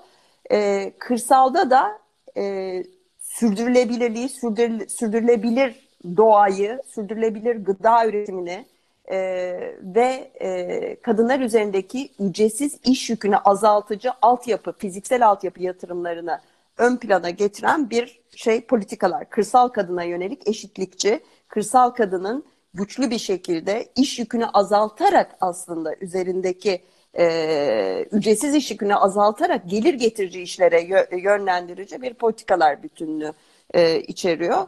E, bu haliyle e, mor ekonomi aslında e, şey e, çok geniş bir spektrumda ilgi gördü. Yani Türkiye içinde e, ilgi e, görülen ilginin dışında e, Avrupa Birliği Kadın Lobisi e, Avrupa Birliği nezdinde yaptığı ekonomi politikalarına yönelik savunuculuk çalışmaları için bunu temel kavram olarak benimsedi. Onlar da bu mor ekonominin kırsal şey onlara çok uymuyor. Avrupa Birliği kırsal üretimde, tarım üretiminde oldukça farklı daha e, teknolojinin ilerlediği e, küçük çiftçilikten büyük işletmelere geçtiği için ilk üç ayağını benimsediler Avrupa Birliği içerisindeki çalışmalar için. Ee, bir de merkezi Malezya'da Kuala Lumpur'da e, bulunan Uluslararası İnsan Hakları e, Kadın Hakları İzleme Örgütü var. International Women's Rights Action Watch. Ee, Asia Pacific, Asya Pasifik ülkeleri ve gelişmekte olan ülkelerdeki kadın örgütleriyle çalışan. Onlar da aynı şekilde e, kendi durdukları yerden mor ekonomi kavramını yaptıkları savunuculuk, ekonomi politikaları alanında yaptıkları savunuculuk çalışmalarında e, kullanmaya e, başladılar. E, dediğim gibi pandemiyle birlikte bu bakım ekonomisi, bakım emeği konusunda giderek bir farkındalık arttı. Umarım mor ekonomi politikalarına yönelik böyle bir dönüşümün de başlangıcı olacak. E, ben çok teşekkür ediyorum ayrılmadan önce e, bana bu imkanı sağladığınız için. Biz teşekkür ediyoruz sizlere İpeklik Karacan. Sahiden not alarak böyle dinledim sizi. Üzerine de uzun uzun konuşulması gereken başlıklar bunlar. Kıymetli emeğiniz, katkınız bizimle olduğunuz için teşekkür ediyorum. Kutluyorum Emekçi Kadınlar Gününüzü. Sağ olun. Çok sağ teşekkür ederim İpek Hanım. Çok teşekkürler. Ben de çok teşekkür ederim. Tüm konuşmacıları dinlemekten büyük zevk aldım. Yarın nasıl olsa e, yayınlandığında eş zamanlı olarak dinlemek mümkün olacak. Hepinize e, iyi bir 8 Mart diliyorum. Hoşçakalın. Çok teşekkür ediyoruz.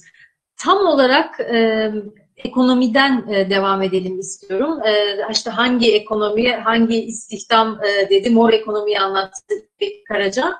E, Zeynep Karaman'la devam etmek istiyorum. Çünkü pandeminin yarattığı e, adaletsizlik daha da derinleşen bir adaletsizlik. Bir kere yoksulluğu derinleştirdi.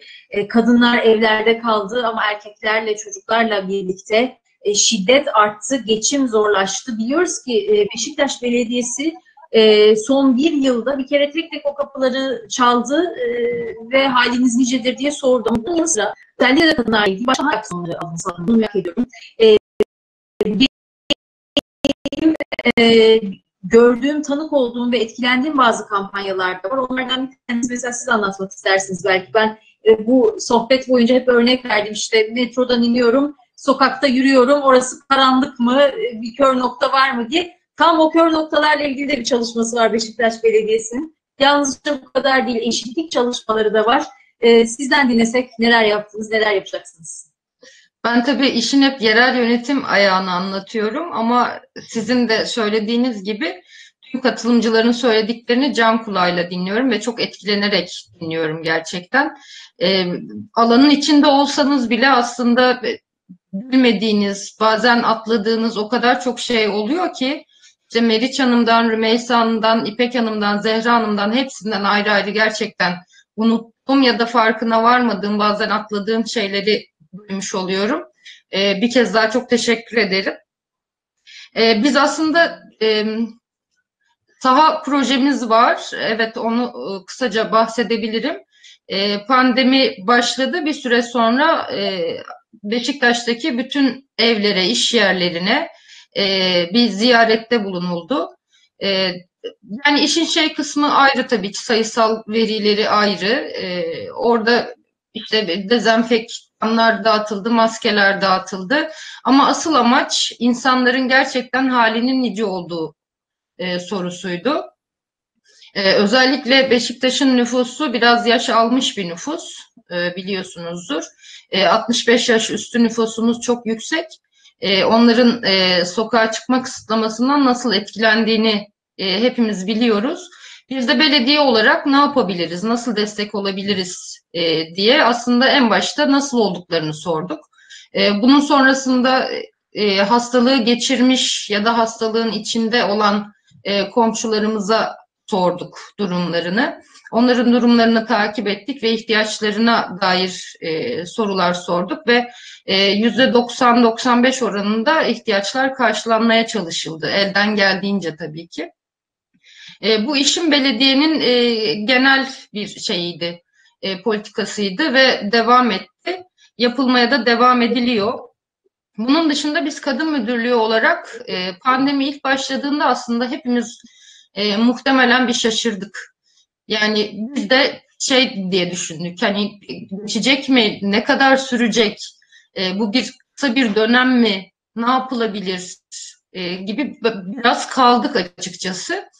Sonra o zaman ilerlemeye başladı ve e, rakamlar geldikçe aslında durumun çok da iyi olmadığını gördük.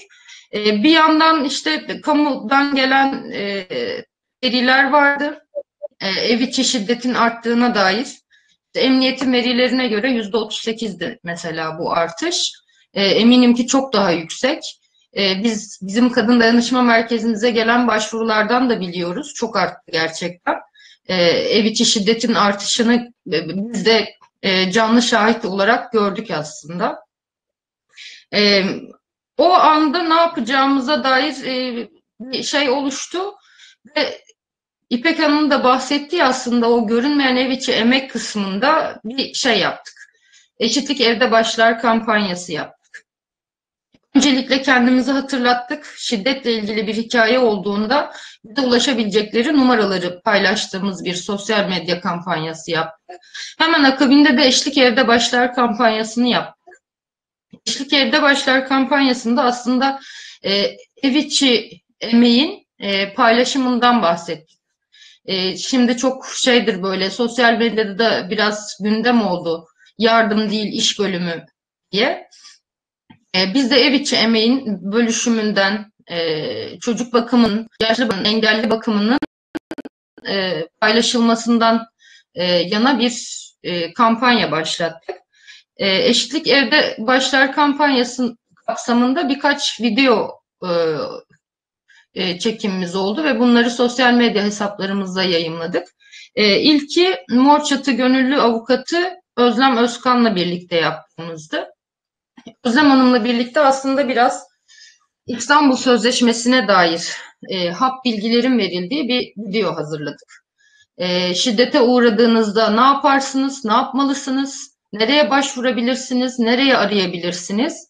E, yani pandemi koşullarının dışında da aslında ihtiyacımız olan bilgilerdi ama pandemiyle birlikte sokağa çıkma yasaklarıyla birlikte ne yapacaklarını, ne yapacaklarını gerçekten e, bilemediler. E, aslında biz bildiğimizi düşünmeyen bile o koşullarda ne yapacağımızı e, bazen şaşırdık.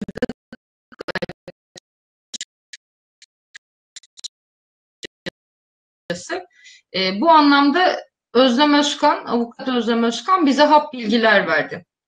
Sonrasında yine ev içi emeğin, çocuk bakımının paylaşılması noktasında e, Açev'den babalık koordinatörü Hasan Deniz'le bir çalışma yaptık. Hasan Deniz hem ev içi emeğini e, anlattı, çocuk bakımını anlattı. Hem de e, ikili ilişkilerde, aile içi ilişkilerde e, nelere dikkat edileceğini, e, bu süreci nasıl yöneteceğimize dair o da yine önemli bilgiler verdi. E, ilk e, kampanyamız buydu. Daha sonrasında UN Women'ın e, Birleşmiş Milletler Kadın Biriminin bir kampanyasına dahil olduk. O kampanya açıkçası beni kişisel olarak da çok etkiledi. Hani yönetici kimliğimin, e, yerel yönetimde bir çalışan olma kimliğimin dışında kişisel olarak bir kadın olarak da çok etkilendiğim bir kampanyaydı.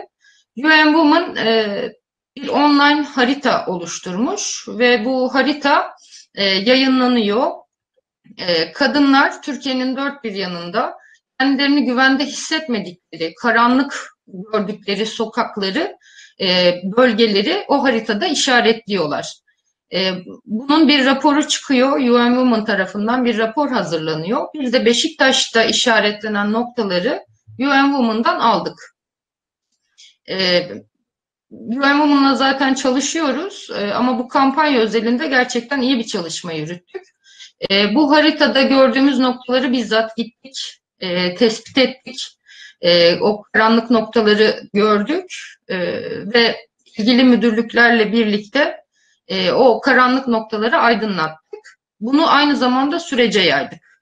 Sadece o noktalar işaretlendi bitti gibi görmüyoruz. E, şimdi kendi web sitemizde bir uygulamayla e, o haritanın işaretlenmesine devam edilmesini sağladık.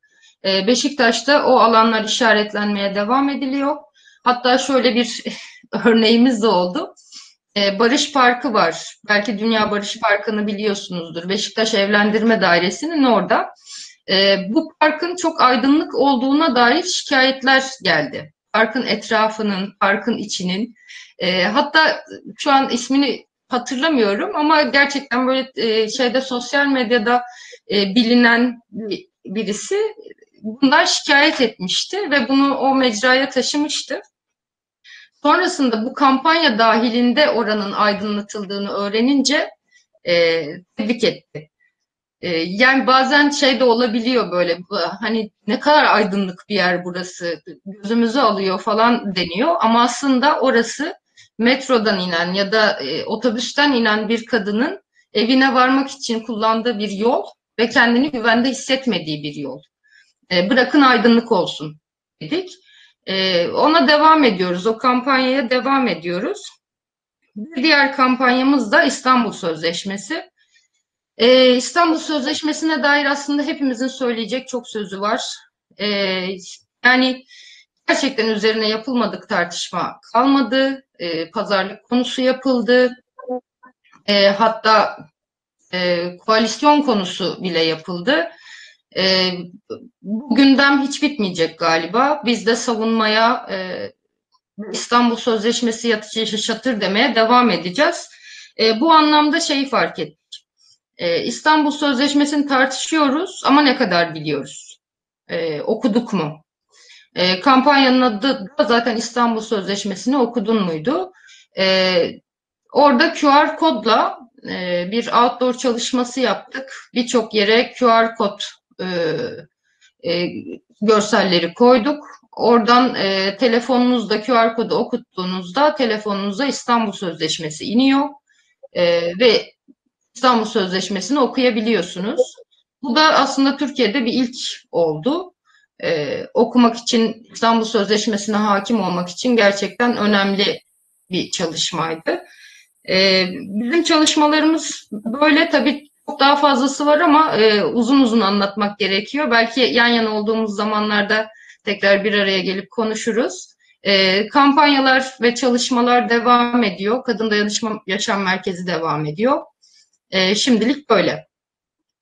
Şimdi ben tabii bu şeyi çok sevdim. Soru soran olmak çok kolay, çok rahat bir müessese. O yüzden hiç bırakmıyorum orayı. Hep böyle umutlu bir şey duymak istiyorum, istiyorum deyip e, Meriç Hanım'a dönüyorum. E, kendisine kolaylıklar diliyorum. Çünkü İstanbul Sözleşmesi'ni bıraktığı için Zeynep Hanım sizinle devam edeceğim. Yani, yani öyle bir şey ki e, sonunda aylarca evet başardılar yani. Bunu bize tartıştırdılar. Aylarca anlatmak durumunda kaldık. Neden önemli, neden vazgeçmiyoruz, ısrar ediyoruz diye.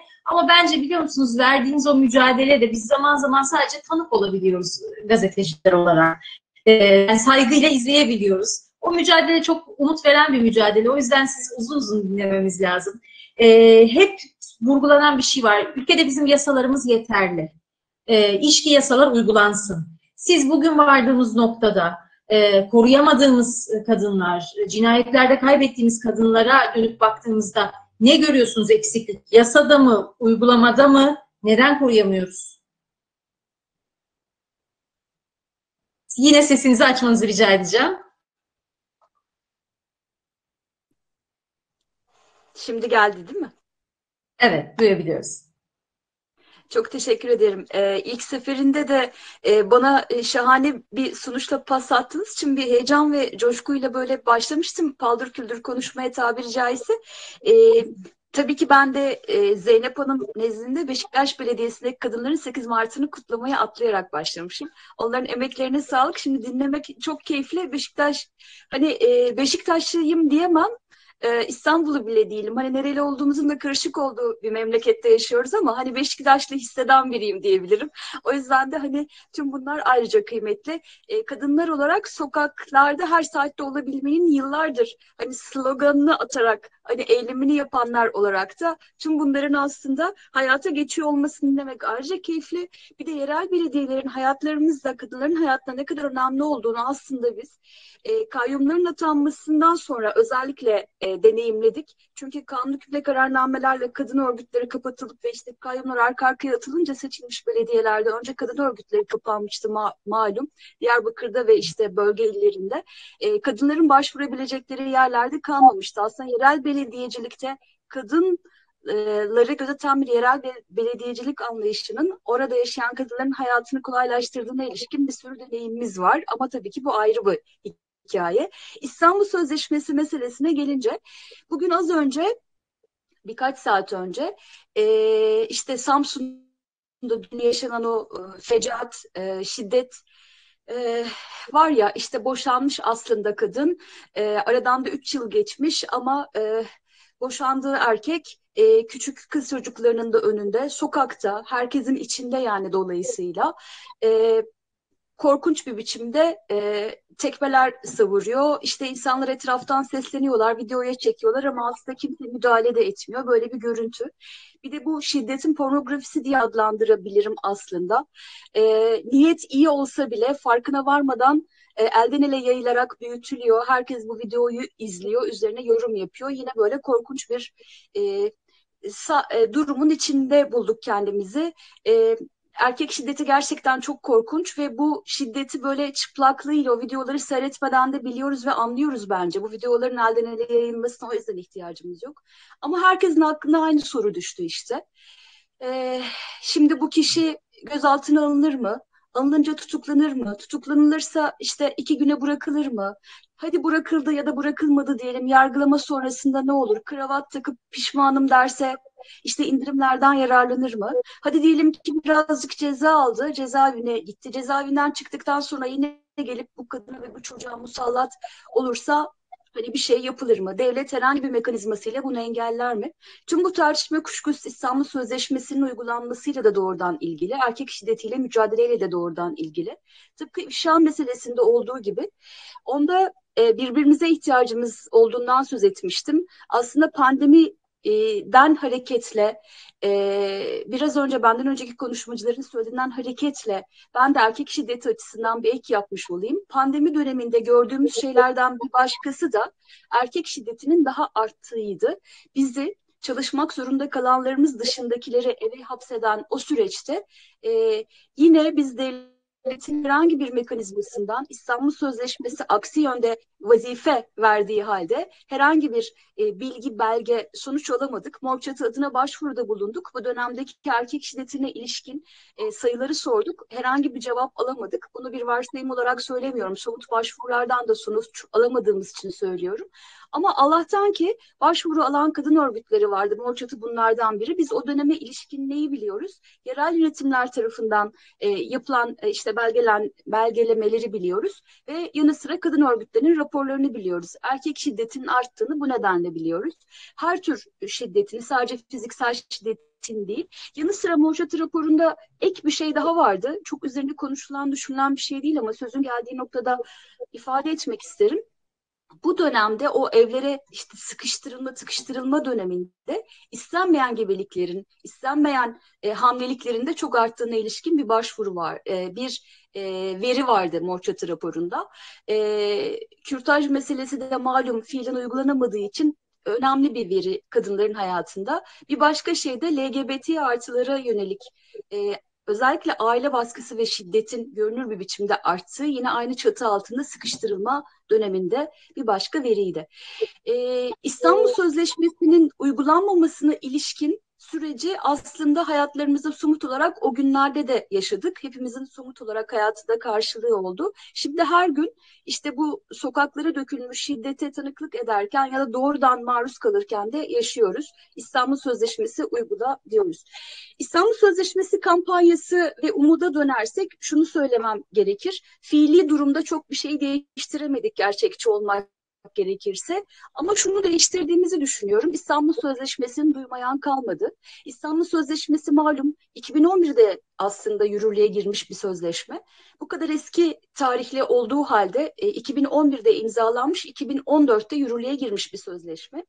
Çok sınırlı sayıda e, belki hukukçular, belki işte bununla uğraşanlar dışında bilinen bir sözleşme değildi. Siyasi iktidarın bu e, tırnak içinde kampanyası bence e, çok yaygın olarak duyulmasına vesile oldu. Hani bu e, şerden böyle bir hayır çıktı diye düşünüyorum.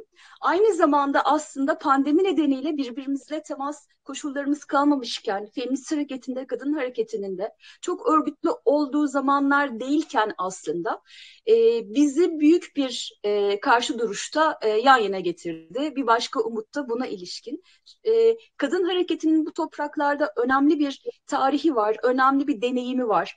E, yan yana gelmek, farklılıklarına rağmen yan yana gelmek, birbirinin sözünü sesini kesmeden yan yana gelmek konusunda e, tüm toplumsal muhalefetin kadın hareketinden öğrenmesi gereken şeyler de var kuşkusuz. E, kendi rengini illaki vermek zorunda olmadan tek talep, tek pankart arkasına bir araya gelme deneyimi açısından e, bunu bu yönleriyle bakınca iyi kotardığımızı düşünüyorum. Hani buradan kocaman bir kampanya çıkarıp ve e, muhataplarını da gerilettik tabiri caizse. E, söylediğim gibi aslında İstanbul Sözleşmesi'nin uygulanması konusunda bu işin başından bugüne e, baktığımız noktada çok fazla yol almış değiliz. E, tıpkı pandemi günlerinde olduğu gibi genel halimiz, ahvalimiz aslında e, kadınların e, kendi kaderine terk edildiği zamanlarda yaşıyor olmamız. E, değiştirmemiz gereken şey de bu. Bunda da devletin bütün kurumlarıyla devreye girmesi gerekir. Bu mekanizmaları işletmek zorundayız. Bu mekanizmaların işlemesini talep etmek ve zorlamak zorundayız. Kadın dayanışması ne kadar önemli olsa da, birbirimize ne kadar ihtiyacımız olsa da, aslında gelinen noktada birbirimizden başka kimsemiz olmasa da, bunun yanı sıra bununla yetinmeyip devletin mekanizmalarında e, çalıştırmak zorundayız. Bu yüzden hepimize e, düşen vazife var diye düşünüyorum. Kimimiz için bu yarın feminist gece yürüyüşüne katılmak, kimimiz için olduğu yerden her neredeyse oradan katkı da bulunmak, kimimiz için sokakta e, şiddete maruz kalan bir kadın gördüğümüz zaman e, yüzümüzü çevirmemek, ona sahip çıkmak ama herkesin olduğu yerden yapabileceği bir şey var. Sadece bunu bilelim, e, o kadının yerinde hepimizin yarın olabileceğini, bugün olabileceğini e, bilelim e, ve bu yüzden de bu buna birbirimize sahip çıkalım e, demek istiyorum. Teşekkürler. Bilmiyorum umutlu oldu mu? Vallahi çok mutlu oldu. Bir, bir kere gerçekçi olan şeylerin aynı zamanda içinde umut da barındırmasını e, seviyorum. Hem gerçekçi hem umutlu oldu. E, yine umutla devam edeceğim ama Rümeysa Hanım'la devam edeceğim bu sefer. E, galiba bir, hepimizin zaman zaman hissettiği bir şey bu yal, yalnızlık hali. Salgın bunu derinleştirdi. Örneğin e, Rümeysa Hanım'ın üretimde olduğu müzik sektörü bir kere o yalnızlığımı çok iyi hisseden sektörlerden biri herhalde. E, pandemi ve kadını nasıl etkiledi diye soracağım ama bir sorum daha var. Ben e, iki yıl önce e, reçel blogda üretim yapan e, bir e, arkadaşımızla tanışmıştım. O zaman yeni haberim oldu. Ben gecikmeli haberdar olabildim onu söyleyeyim. Dolayısıyla Hav Havle'den de. E, ama araştırdım, okudum bu ilk Müslüman Feminist Kadın Derneği'nde Özellikle bu dönemde ne yapıyorsunuz? En çok neye ihtiyaç olduğunu görüyorsunuz? Ee, tabii yani profesyonel anlamda müzikle uğraşan kişiler varken ben doğrudan e, müzikten para kazanan biri değilim. E, sivil toplum profesyonelim. O yüzden müzikle ilgili e, olan derdin çok kenarında bir yerdeyim. Sadece çok özledim sahneye çıkmayı. Ama gerçekten bu meseleden ötürü çok büyük bir sıkıntı var hali hazırda ortamda.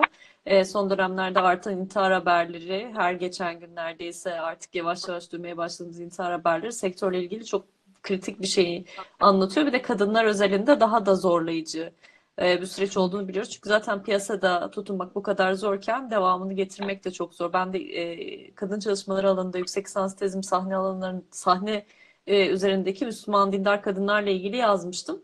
Orada zaten e, bir piyasanın parçası olamayan Müslüman kadınlardan bahsediyorum. Bir de üzerine hali hazırda olmayan bir piyasayı ekleyince gerçekten birçok insanın hayalinin e, duraksa durmak durumunda kaldığı işte kendine yeni alanlar çizmeye çalıştı. Online ortamların el verdiği ölçüde işte online derslerle vesaire geçinmeye çalışan birçok kişi var etrafımda.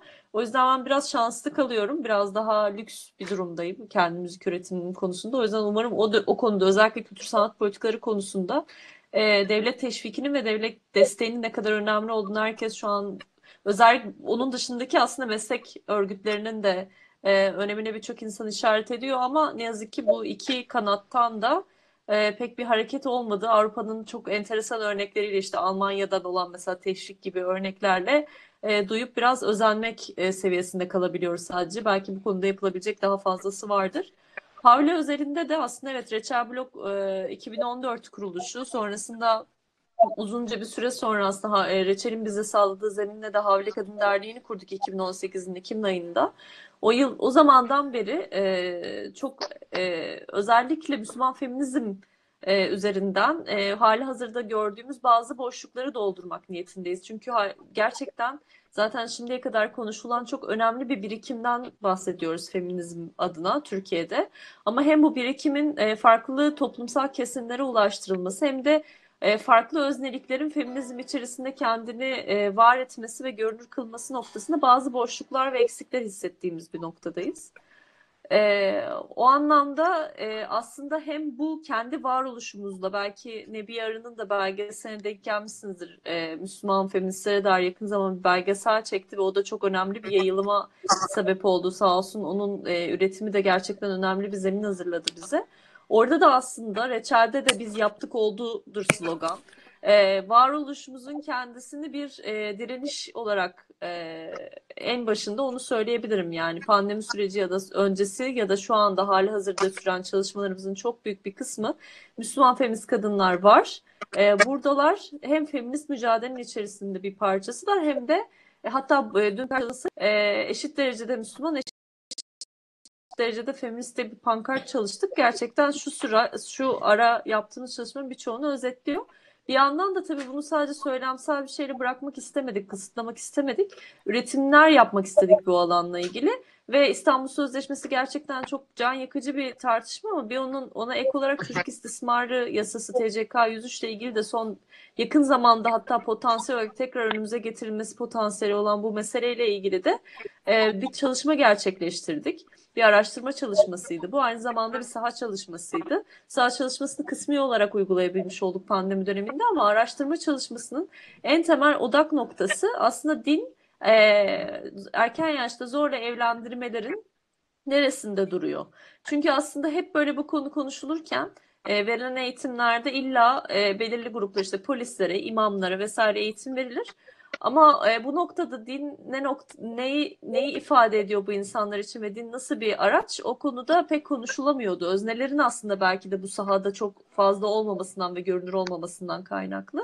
Biz bu konunun özneli olarak ele alabilirsek meseleyi nasıl bakarız dediğimizde aslında en temelde şunu gördük. Birincisi devletin temel e, söylemlerinin aksine erken yaşta evlilikler toplumun istediği bir şey değil. Ee, yani %90'ın üzerinde %94'e yakın bir oran aslında erken yaşta evlilikleri 18 yaş altı evlilikler diye doğrudan sorduk bir de evlilikleri. 18 yaş altı evlilikleri destekler nitelikte herhangi bir şey söylemiyorlar söylemsel olarak. Ee, ve bunu belirli provokatif sorularla destekledik. Örneğin işte e, çocuğunuz cinsel çocuğunuzun cinsel birlikte birlikteliğinin yaşadığını öğrenseniz ne yaparsınız? Şu işte e, el ele tutuştuğunu görseniz ne yaparsınız vesaire ekonomik durumunuz çok zor olsa ne yaparsınız gibi. Bütün bu faktörlerin içerisinden namus ve cinsellik tabii ki en kritik faktörlerden bir tanesi oldu. O hani çok destekler nitelikte şeyler söyleyen insanlar %90'ın üzerindeki insanlar e, özellikle erkekler %60'lara kadar düşüyor bu sorularla birlikte. Yani %60 kadar erkek hayır olursun kızlar evlenmem bu oran kadınlar %70. E, aslında bu durumu gösteriyor. Sonra dinle ilgili şeyler de aslında dinin herhangi bir şekilde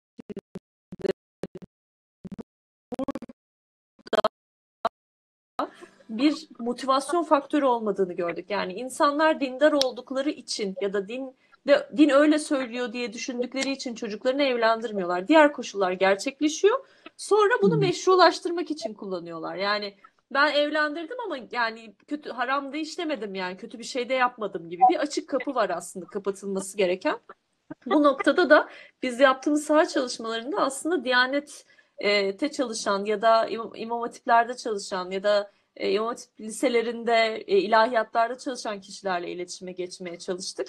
Onlardan hem e, karşılıklı bir e, geri bildirim aldık hem de onlarla hali hazırda bu konuyla ilgili nasıl bir e, besleme yapılabilir alana onu anlamaya çalıştık. Bu, bu konuda bir eğitim kitimiz ve raporumuz da son zamanlar son yakın zamanda e, yayınlanacak ama pandeminin açıkçası hem hem kritik konularından biriydi hem de bizim adımıza da keşke sahada gerçekleştirsek daha da e, sonuç alacağımız bir çalışmanın sonucu olmuş oldu.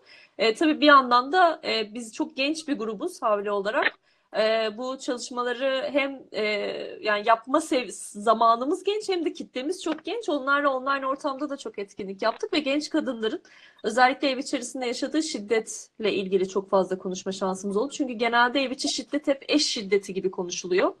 Ee, ama aslında anne babalarının özellikle Havle'nin temsil ettiği grubu düşünebilirsiniz. Müslüman feminist olduğunu söylediği için ya da din algısını ev içerisinde telaffuz etmeye çalıştığı için ev içerisinde şiddet gören kadınların varlığı kendilerini ifade etme konusundaki sıkıntıları, kamusal bir alan bulamadıkları için aslında mesela Havli'nin onlara sağladığı tartışma zeminine tekrar gelemedikleri için yaşadıkları sıkıntılar gibi birçok meseleyle aslında mücadele etmek zorunda kaldı o kadınlar. Biz de elimizden geldiğince destek olmaya çalıştık ama sanırım bu genç kadınların da ayrıca başka türlü desteklere ve bir an önce pandeminin bitmesine ihtiyaç duyuyor olabilirler. Ama gelecekte gerçekten bu durumlar ortadan kalktığında e, eğer umut e, ise mesele gerçekten çok önemli bir kitleyle e, örgütlendiğimizi hissediyorum ve e, çok önemli bir dönüşüme de gebe bir ortamda ve ben kendime feminist dediğim esnalarda etrafımda birkaç kişiyi sadece elim elimin parmaklarına kadar kişiyle birlikte kendime feminist derken Müslüman kadınlar içerisinde şu an onlarca kadın aslında yüzün üzerinde kadın bizim derneğimize gönüllü olarak başvuruyor Türkiye'nin farklı şehirlerinden ve biliyorum bu da yaygınlaşacak ve feministler, feminist özneler Türkiye'de yaygınlaştıkça ve feminizm kendini daha iyi anlatmaya devam ettikçe e, Türkiye'de değişim daha e, radikal bir şekilde gerçekleşecek zamanla ben bunu umut etmekten vazgeçmemek taraftarıyım. Çok teşekkürler tekrar tüm bu olanak için. Emeklerinize e, sağlık, e, yolunuzun açık olmasını ümit ediyorum. Ne kadar kıymetli çalışmalar.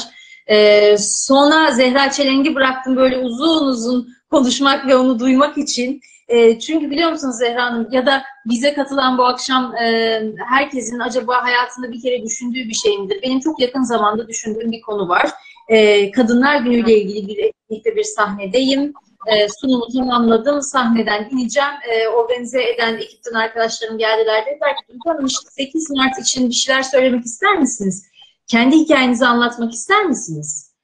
Ben 15 yıldır e, hayatı anlatarak devam ediyorum. Hayatımı da böyle kazanıyorum. Buna önem de atfediyorum. Biliyor musunuz hiç kendi hikayemde bir cümleyi anlatmam gerektiğini, buna değer olduğunu ve insanın çok çok daha dinlemek düşünmemişim. Ee, ve bu beni çok şaşırttı. Yani bunu hissetmiş olmam. Evet. Şunu fark ettim. Kadınların hikayesi evet anlatmaya değer hikayeler. Şimdi bir kadın yazarın, kadın senaristin e, anlatımıyla da, üretimiyle de çok yakın o yüzden.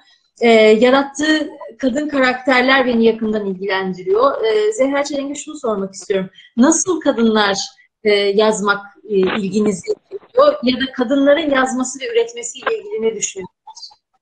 Ee, şimdi şey çok kıymetli geldi bana. Oradan devam edeyim. Bu Zeynep Hanım'ın söylediği karanlık noktaları aydınlatmak metaforik olarak da çok değerli kör noktaları aydınlatmak aslında hepimiz hepimiz kendi alanlarımızda anladığım kadarıyla bu güzel sohbetten bunu yapmaya bir kadınlara alan açmaya çalışıyoruz. Eril olmayan bir alan açmaya çalışıyoruz. Ee, ve bunun çok çeşitli ve şeyleri var. Hani burada her zaman çok bir arada olamasak da aslında çok temel bir ortaklığımız var. Ee, yani ben yazı konusunda şunu çok hissediyorum. En çok bu mücadeleyi yazı ve bir de kurmaca alanında veriyorum. Bir bu köşe yazılarım var. Orada çok güçlü bir okur e, kadın ilgisiyle karşılaşıyorum.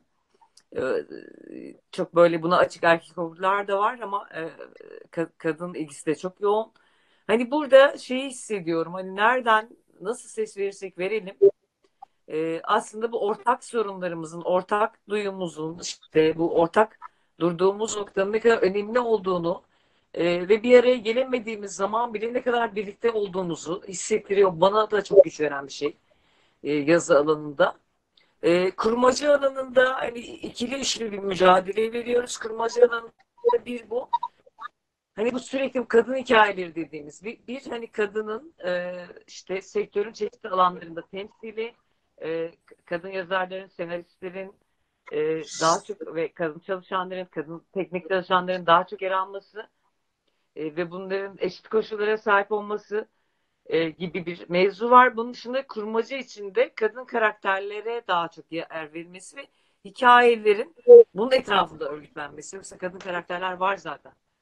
E, ve bunun böyle bir güçlü kadın dediğimizde eline silah alıp ortalığı tarayan bir erkek muadili kadın değil de gerçek kadınları gerçek hikayelerin anlatılmasına dair e, bir çabamız var. E, orada bunun yanı sıra sektör içi ve etrafımızda dönen dünya ve gerçekliğe de biraz ayak uydurma çabamız var. Bu az önce e, Melis Hanım'ın konuşmasında şey önemliydi. Mesela Elit'in davasını baştan beri çok yakından takip ettik ve elimizden geldiğince en azından bir moral destek olmaya çalıştık. Çok önemliydi. Hani adını tam duyuramamış hayatın başlarında yetenekli bir kadın oyuncunun bu kadar cesur davranması çok değerliydi ve işte o Ozan Güven meselesinde şöyle bir şey oldu. İlk kez senaristler bir olup çok zordur bizde. Yani hani e, çok zor sektör olarak çok ciddi rekabetin olduğu, e, çok da ciddi güveneceğiniz bir şeyin olmadığı bir alan. Orada bir senaristler olarak birleşip bir bildiri yayınladık işte. Yapım şirketi de ortak bir duyarlılık gösterdi vesaire. Yani burada bütün bunlarda vurgulamak istediğim e, hani umut olan da nedir? Durdurulamayan bir ses var. E, bu Arrival filminde der ya bu yaşam, ölüm ve e, hayatın döngüselliği anlamında.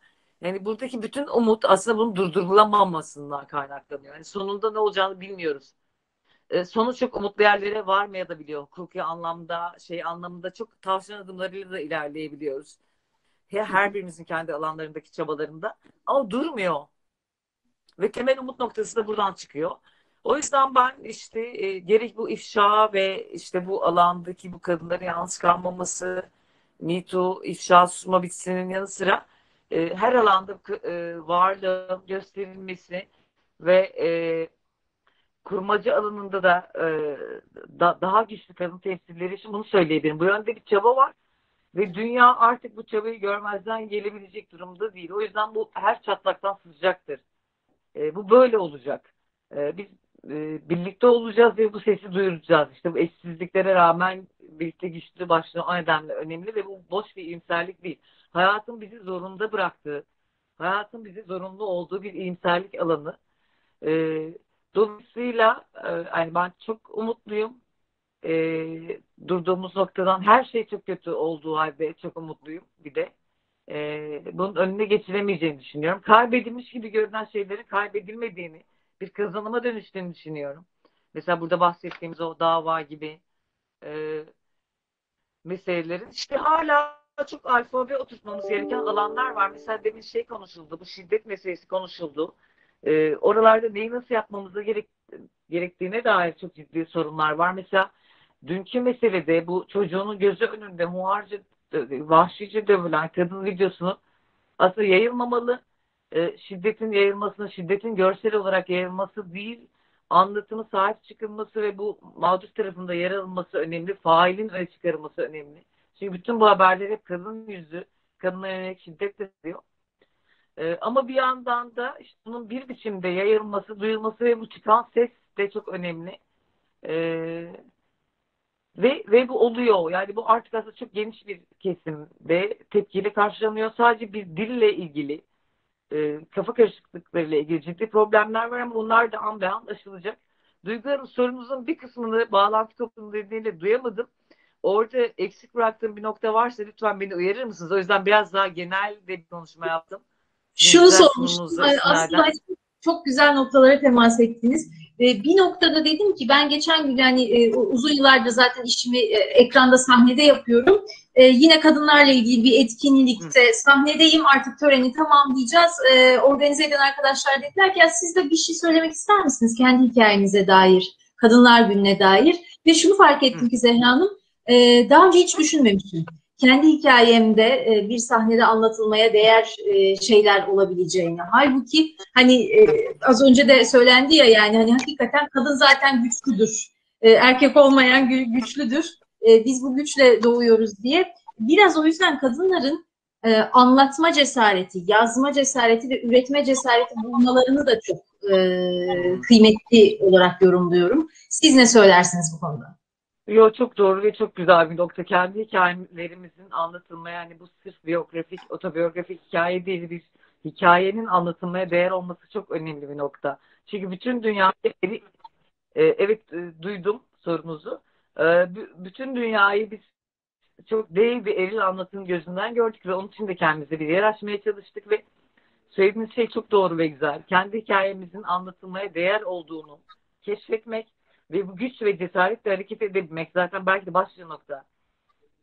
O kendi hikayemiz derken biri bir kendi yaşantımız değil bunun içinde. Bununla iç içe geçen başka tanıklıklar, başka kadınların hikayeleri, e, e, bütün bunlarla birlikte bu hikayenin anlatılmaya değer olması ve hikayenin belki de hayattaki başlıca direnme noktası olması.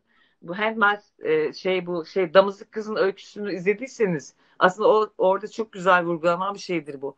İnsan hikayeler anlatarak direnir. Hikayeler anlatarak dil ve dünya kurar. Ve kadınlar kendi hikayelerini anlatabildikçe, bunu belli bir mesafeden anlatabildikçe zaten aslında bu dil ve dünya değişecektir. Yani dilimiz değiştikçe dünyamız değişir. E, ve biz bu koskocaman bize sunulmuş, e, bizim hep başkaları e, gözünden görüldüğümüz eril anlatı evrenini de ancak kendi hikayelerimizi genişleterek kurabiliriz. Ve kendimiz üzerine 3-5 cümle kurabilmekten tutun o da çok önemli. Bu da bir başlangıçtır. Ee, burada kekelemeden kendimizi anlatabilmekten tutun. İşte bir kurmaca hikayeye varan bir evrende kendi hikayelerimizi anlatabilmek belki de bizim başlı direnme noktamızdır. Onun önünde de hep önümüze büyük büyük erkek yazarlar, erkek yönetmenler, erkek anlatıcılar çıkarılır. Hep büyüktür onlar. Onlara ilişkin hayranlık ve maalesef işte bunun gücüyle de bu son dönem taciz meselelerinde biraz bu oldu. Aslında erkek zekasına, erkek üretimine duyulan hayranlık ve bunun çok öncelenmesi de aslında bir taciz ve güç olanağı doğuruyor. Ee, biz kendi gücümüzde ve kendi anlatma, yaratma becerimizde inandığımız ölçüde bu hayranlığı aslında daha sağlıklı bir beğeniye dönüştürüp kendi yaratım gücümüze, inanca dönüştürüp üretebiliyoruz. Bunun önünde şöyle engeller var tabii. Yani bir önceki bu inanç.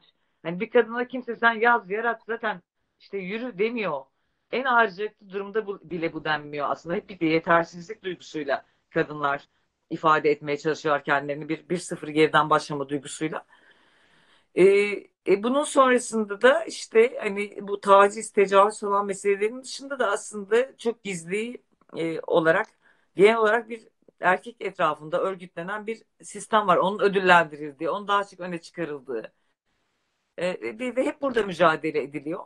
Ama işte yaratıcılığın e, ve yaratım alanlarının aslında hayattaki belki de her alanın şöyle bir güzelliği var. Siz istikrarlı biçimde devam ettiğiniz zaman bütün bunları kırma ve sesinizi duyurma şansına da sahip oluyorsunuz. Bu seslere, iç ve dış seslere biraz kulak tıkamanızı da gerektiriyor bu zaman zaman.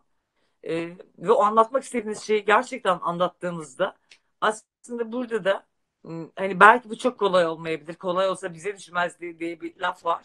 Kolay olsa zaten çok daha muktedir olanın gideceği yol olur. Ama o çatlağı bir bulduğunuzda burada sizinle buluşacak bir sürü insan var. Güç verdiğiniz ve güç aldığınız. Yani hep bunu e, bilerek hareket etmek ve kendi hikayelerimizi yaratmamız gerektiğini düşünüyorum ben de. Ve işte o demek ki metafordan yola çıkarsam da bu kör noktaları, karanlık noktaları kendimiz aydınlata aydınlata ilerleyebileceğimizi düşünüyorum. Ve bundan da büyük bir umut duyuyorum her şeye rağmen. Umarım sorunuza cevap verilmişimdir. Ben de e, gurur duyuyorum. Aslına bakarsanız Duydum, bu akşam izleyiciler beni genelde e, hakikaten böyle bir anımı kafamı da ziyade gördüler. Çünkü evet. ne zaman siz Ses konuşsanız şöyle sayfalar dolusu not, not almışım. Ee, hakikaten çok çok teşekkür ediyorum. Ee, sizlerle sohbet etmek, dinleyebilmek, sizlerden öğrenebilmek ve ilham alabilmek bir büyük gurur nedeni benim için.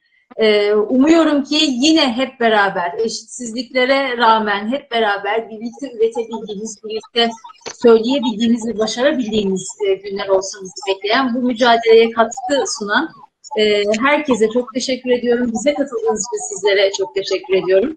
Bizi buluşturan e, Beşiktaş Belediyesi'ne ve izleyicilerimize de bu akşam bizlerle olanlara da çok çok teşekkürlerimi iletmek istiyorum. Ben de ee, ufak bir şey ekleyebilir miyim? Evet. Ee, ben de tekrar e, tüm katılımcılara bizi destekledikleri için, yan yana olduğumuz için çok teşekkür ediyorum. Ee, aynı zamanda şöyle bir şey söylemek istiyorum. Bir sürü şey anlattık. İşte yerel yönetimde şunlar yapıldı, bunlar oldu diye. Ee, ama kadın mücadelesinde olduğu gibi e, bunlar da tek başına benim yaptığım şeyler değil. koca bir ekiple birlikte yaptık. Yol arkadaşlarım var, ekip arkadaşlarım var. Onlara da buradan çok teşekkür etmek istiyorum. Ee, bu geceye dair bize destek olan çalışma arkadaşlarımıza da çok teşekkür etmek istiyorum. Ee, ve tekrar 8 Mart Dünya Kadınlar Günümüz kutlu olsun. Birlikte güçlü. Çok teşekkür ediyoruz bize katılan herkese. Ee, evet. 8 Mart Dünya Emekçi Kadınlar Günü. Her şeye rağmen hep birlikte kutlu olsun efendim. İyi, iyi akşamlar diliyoruz sizlere.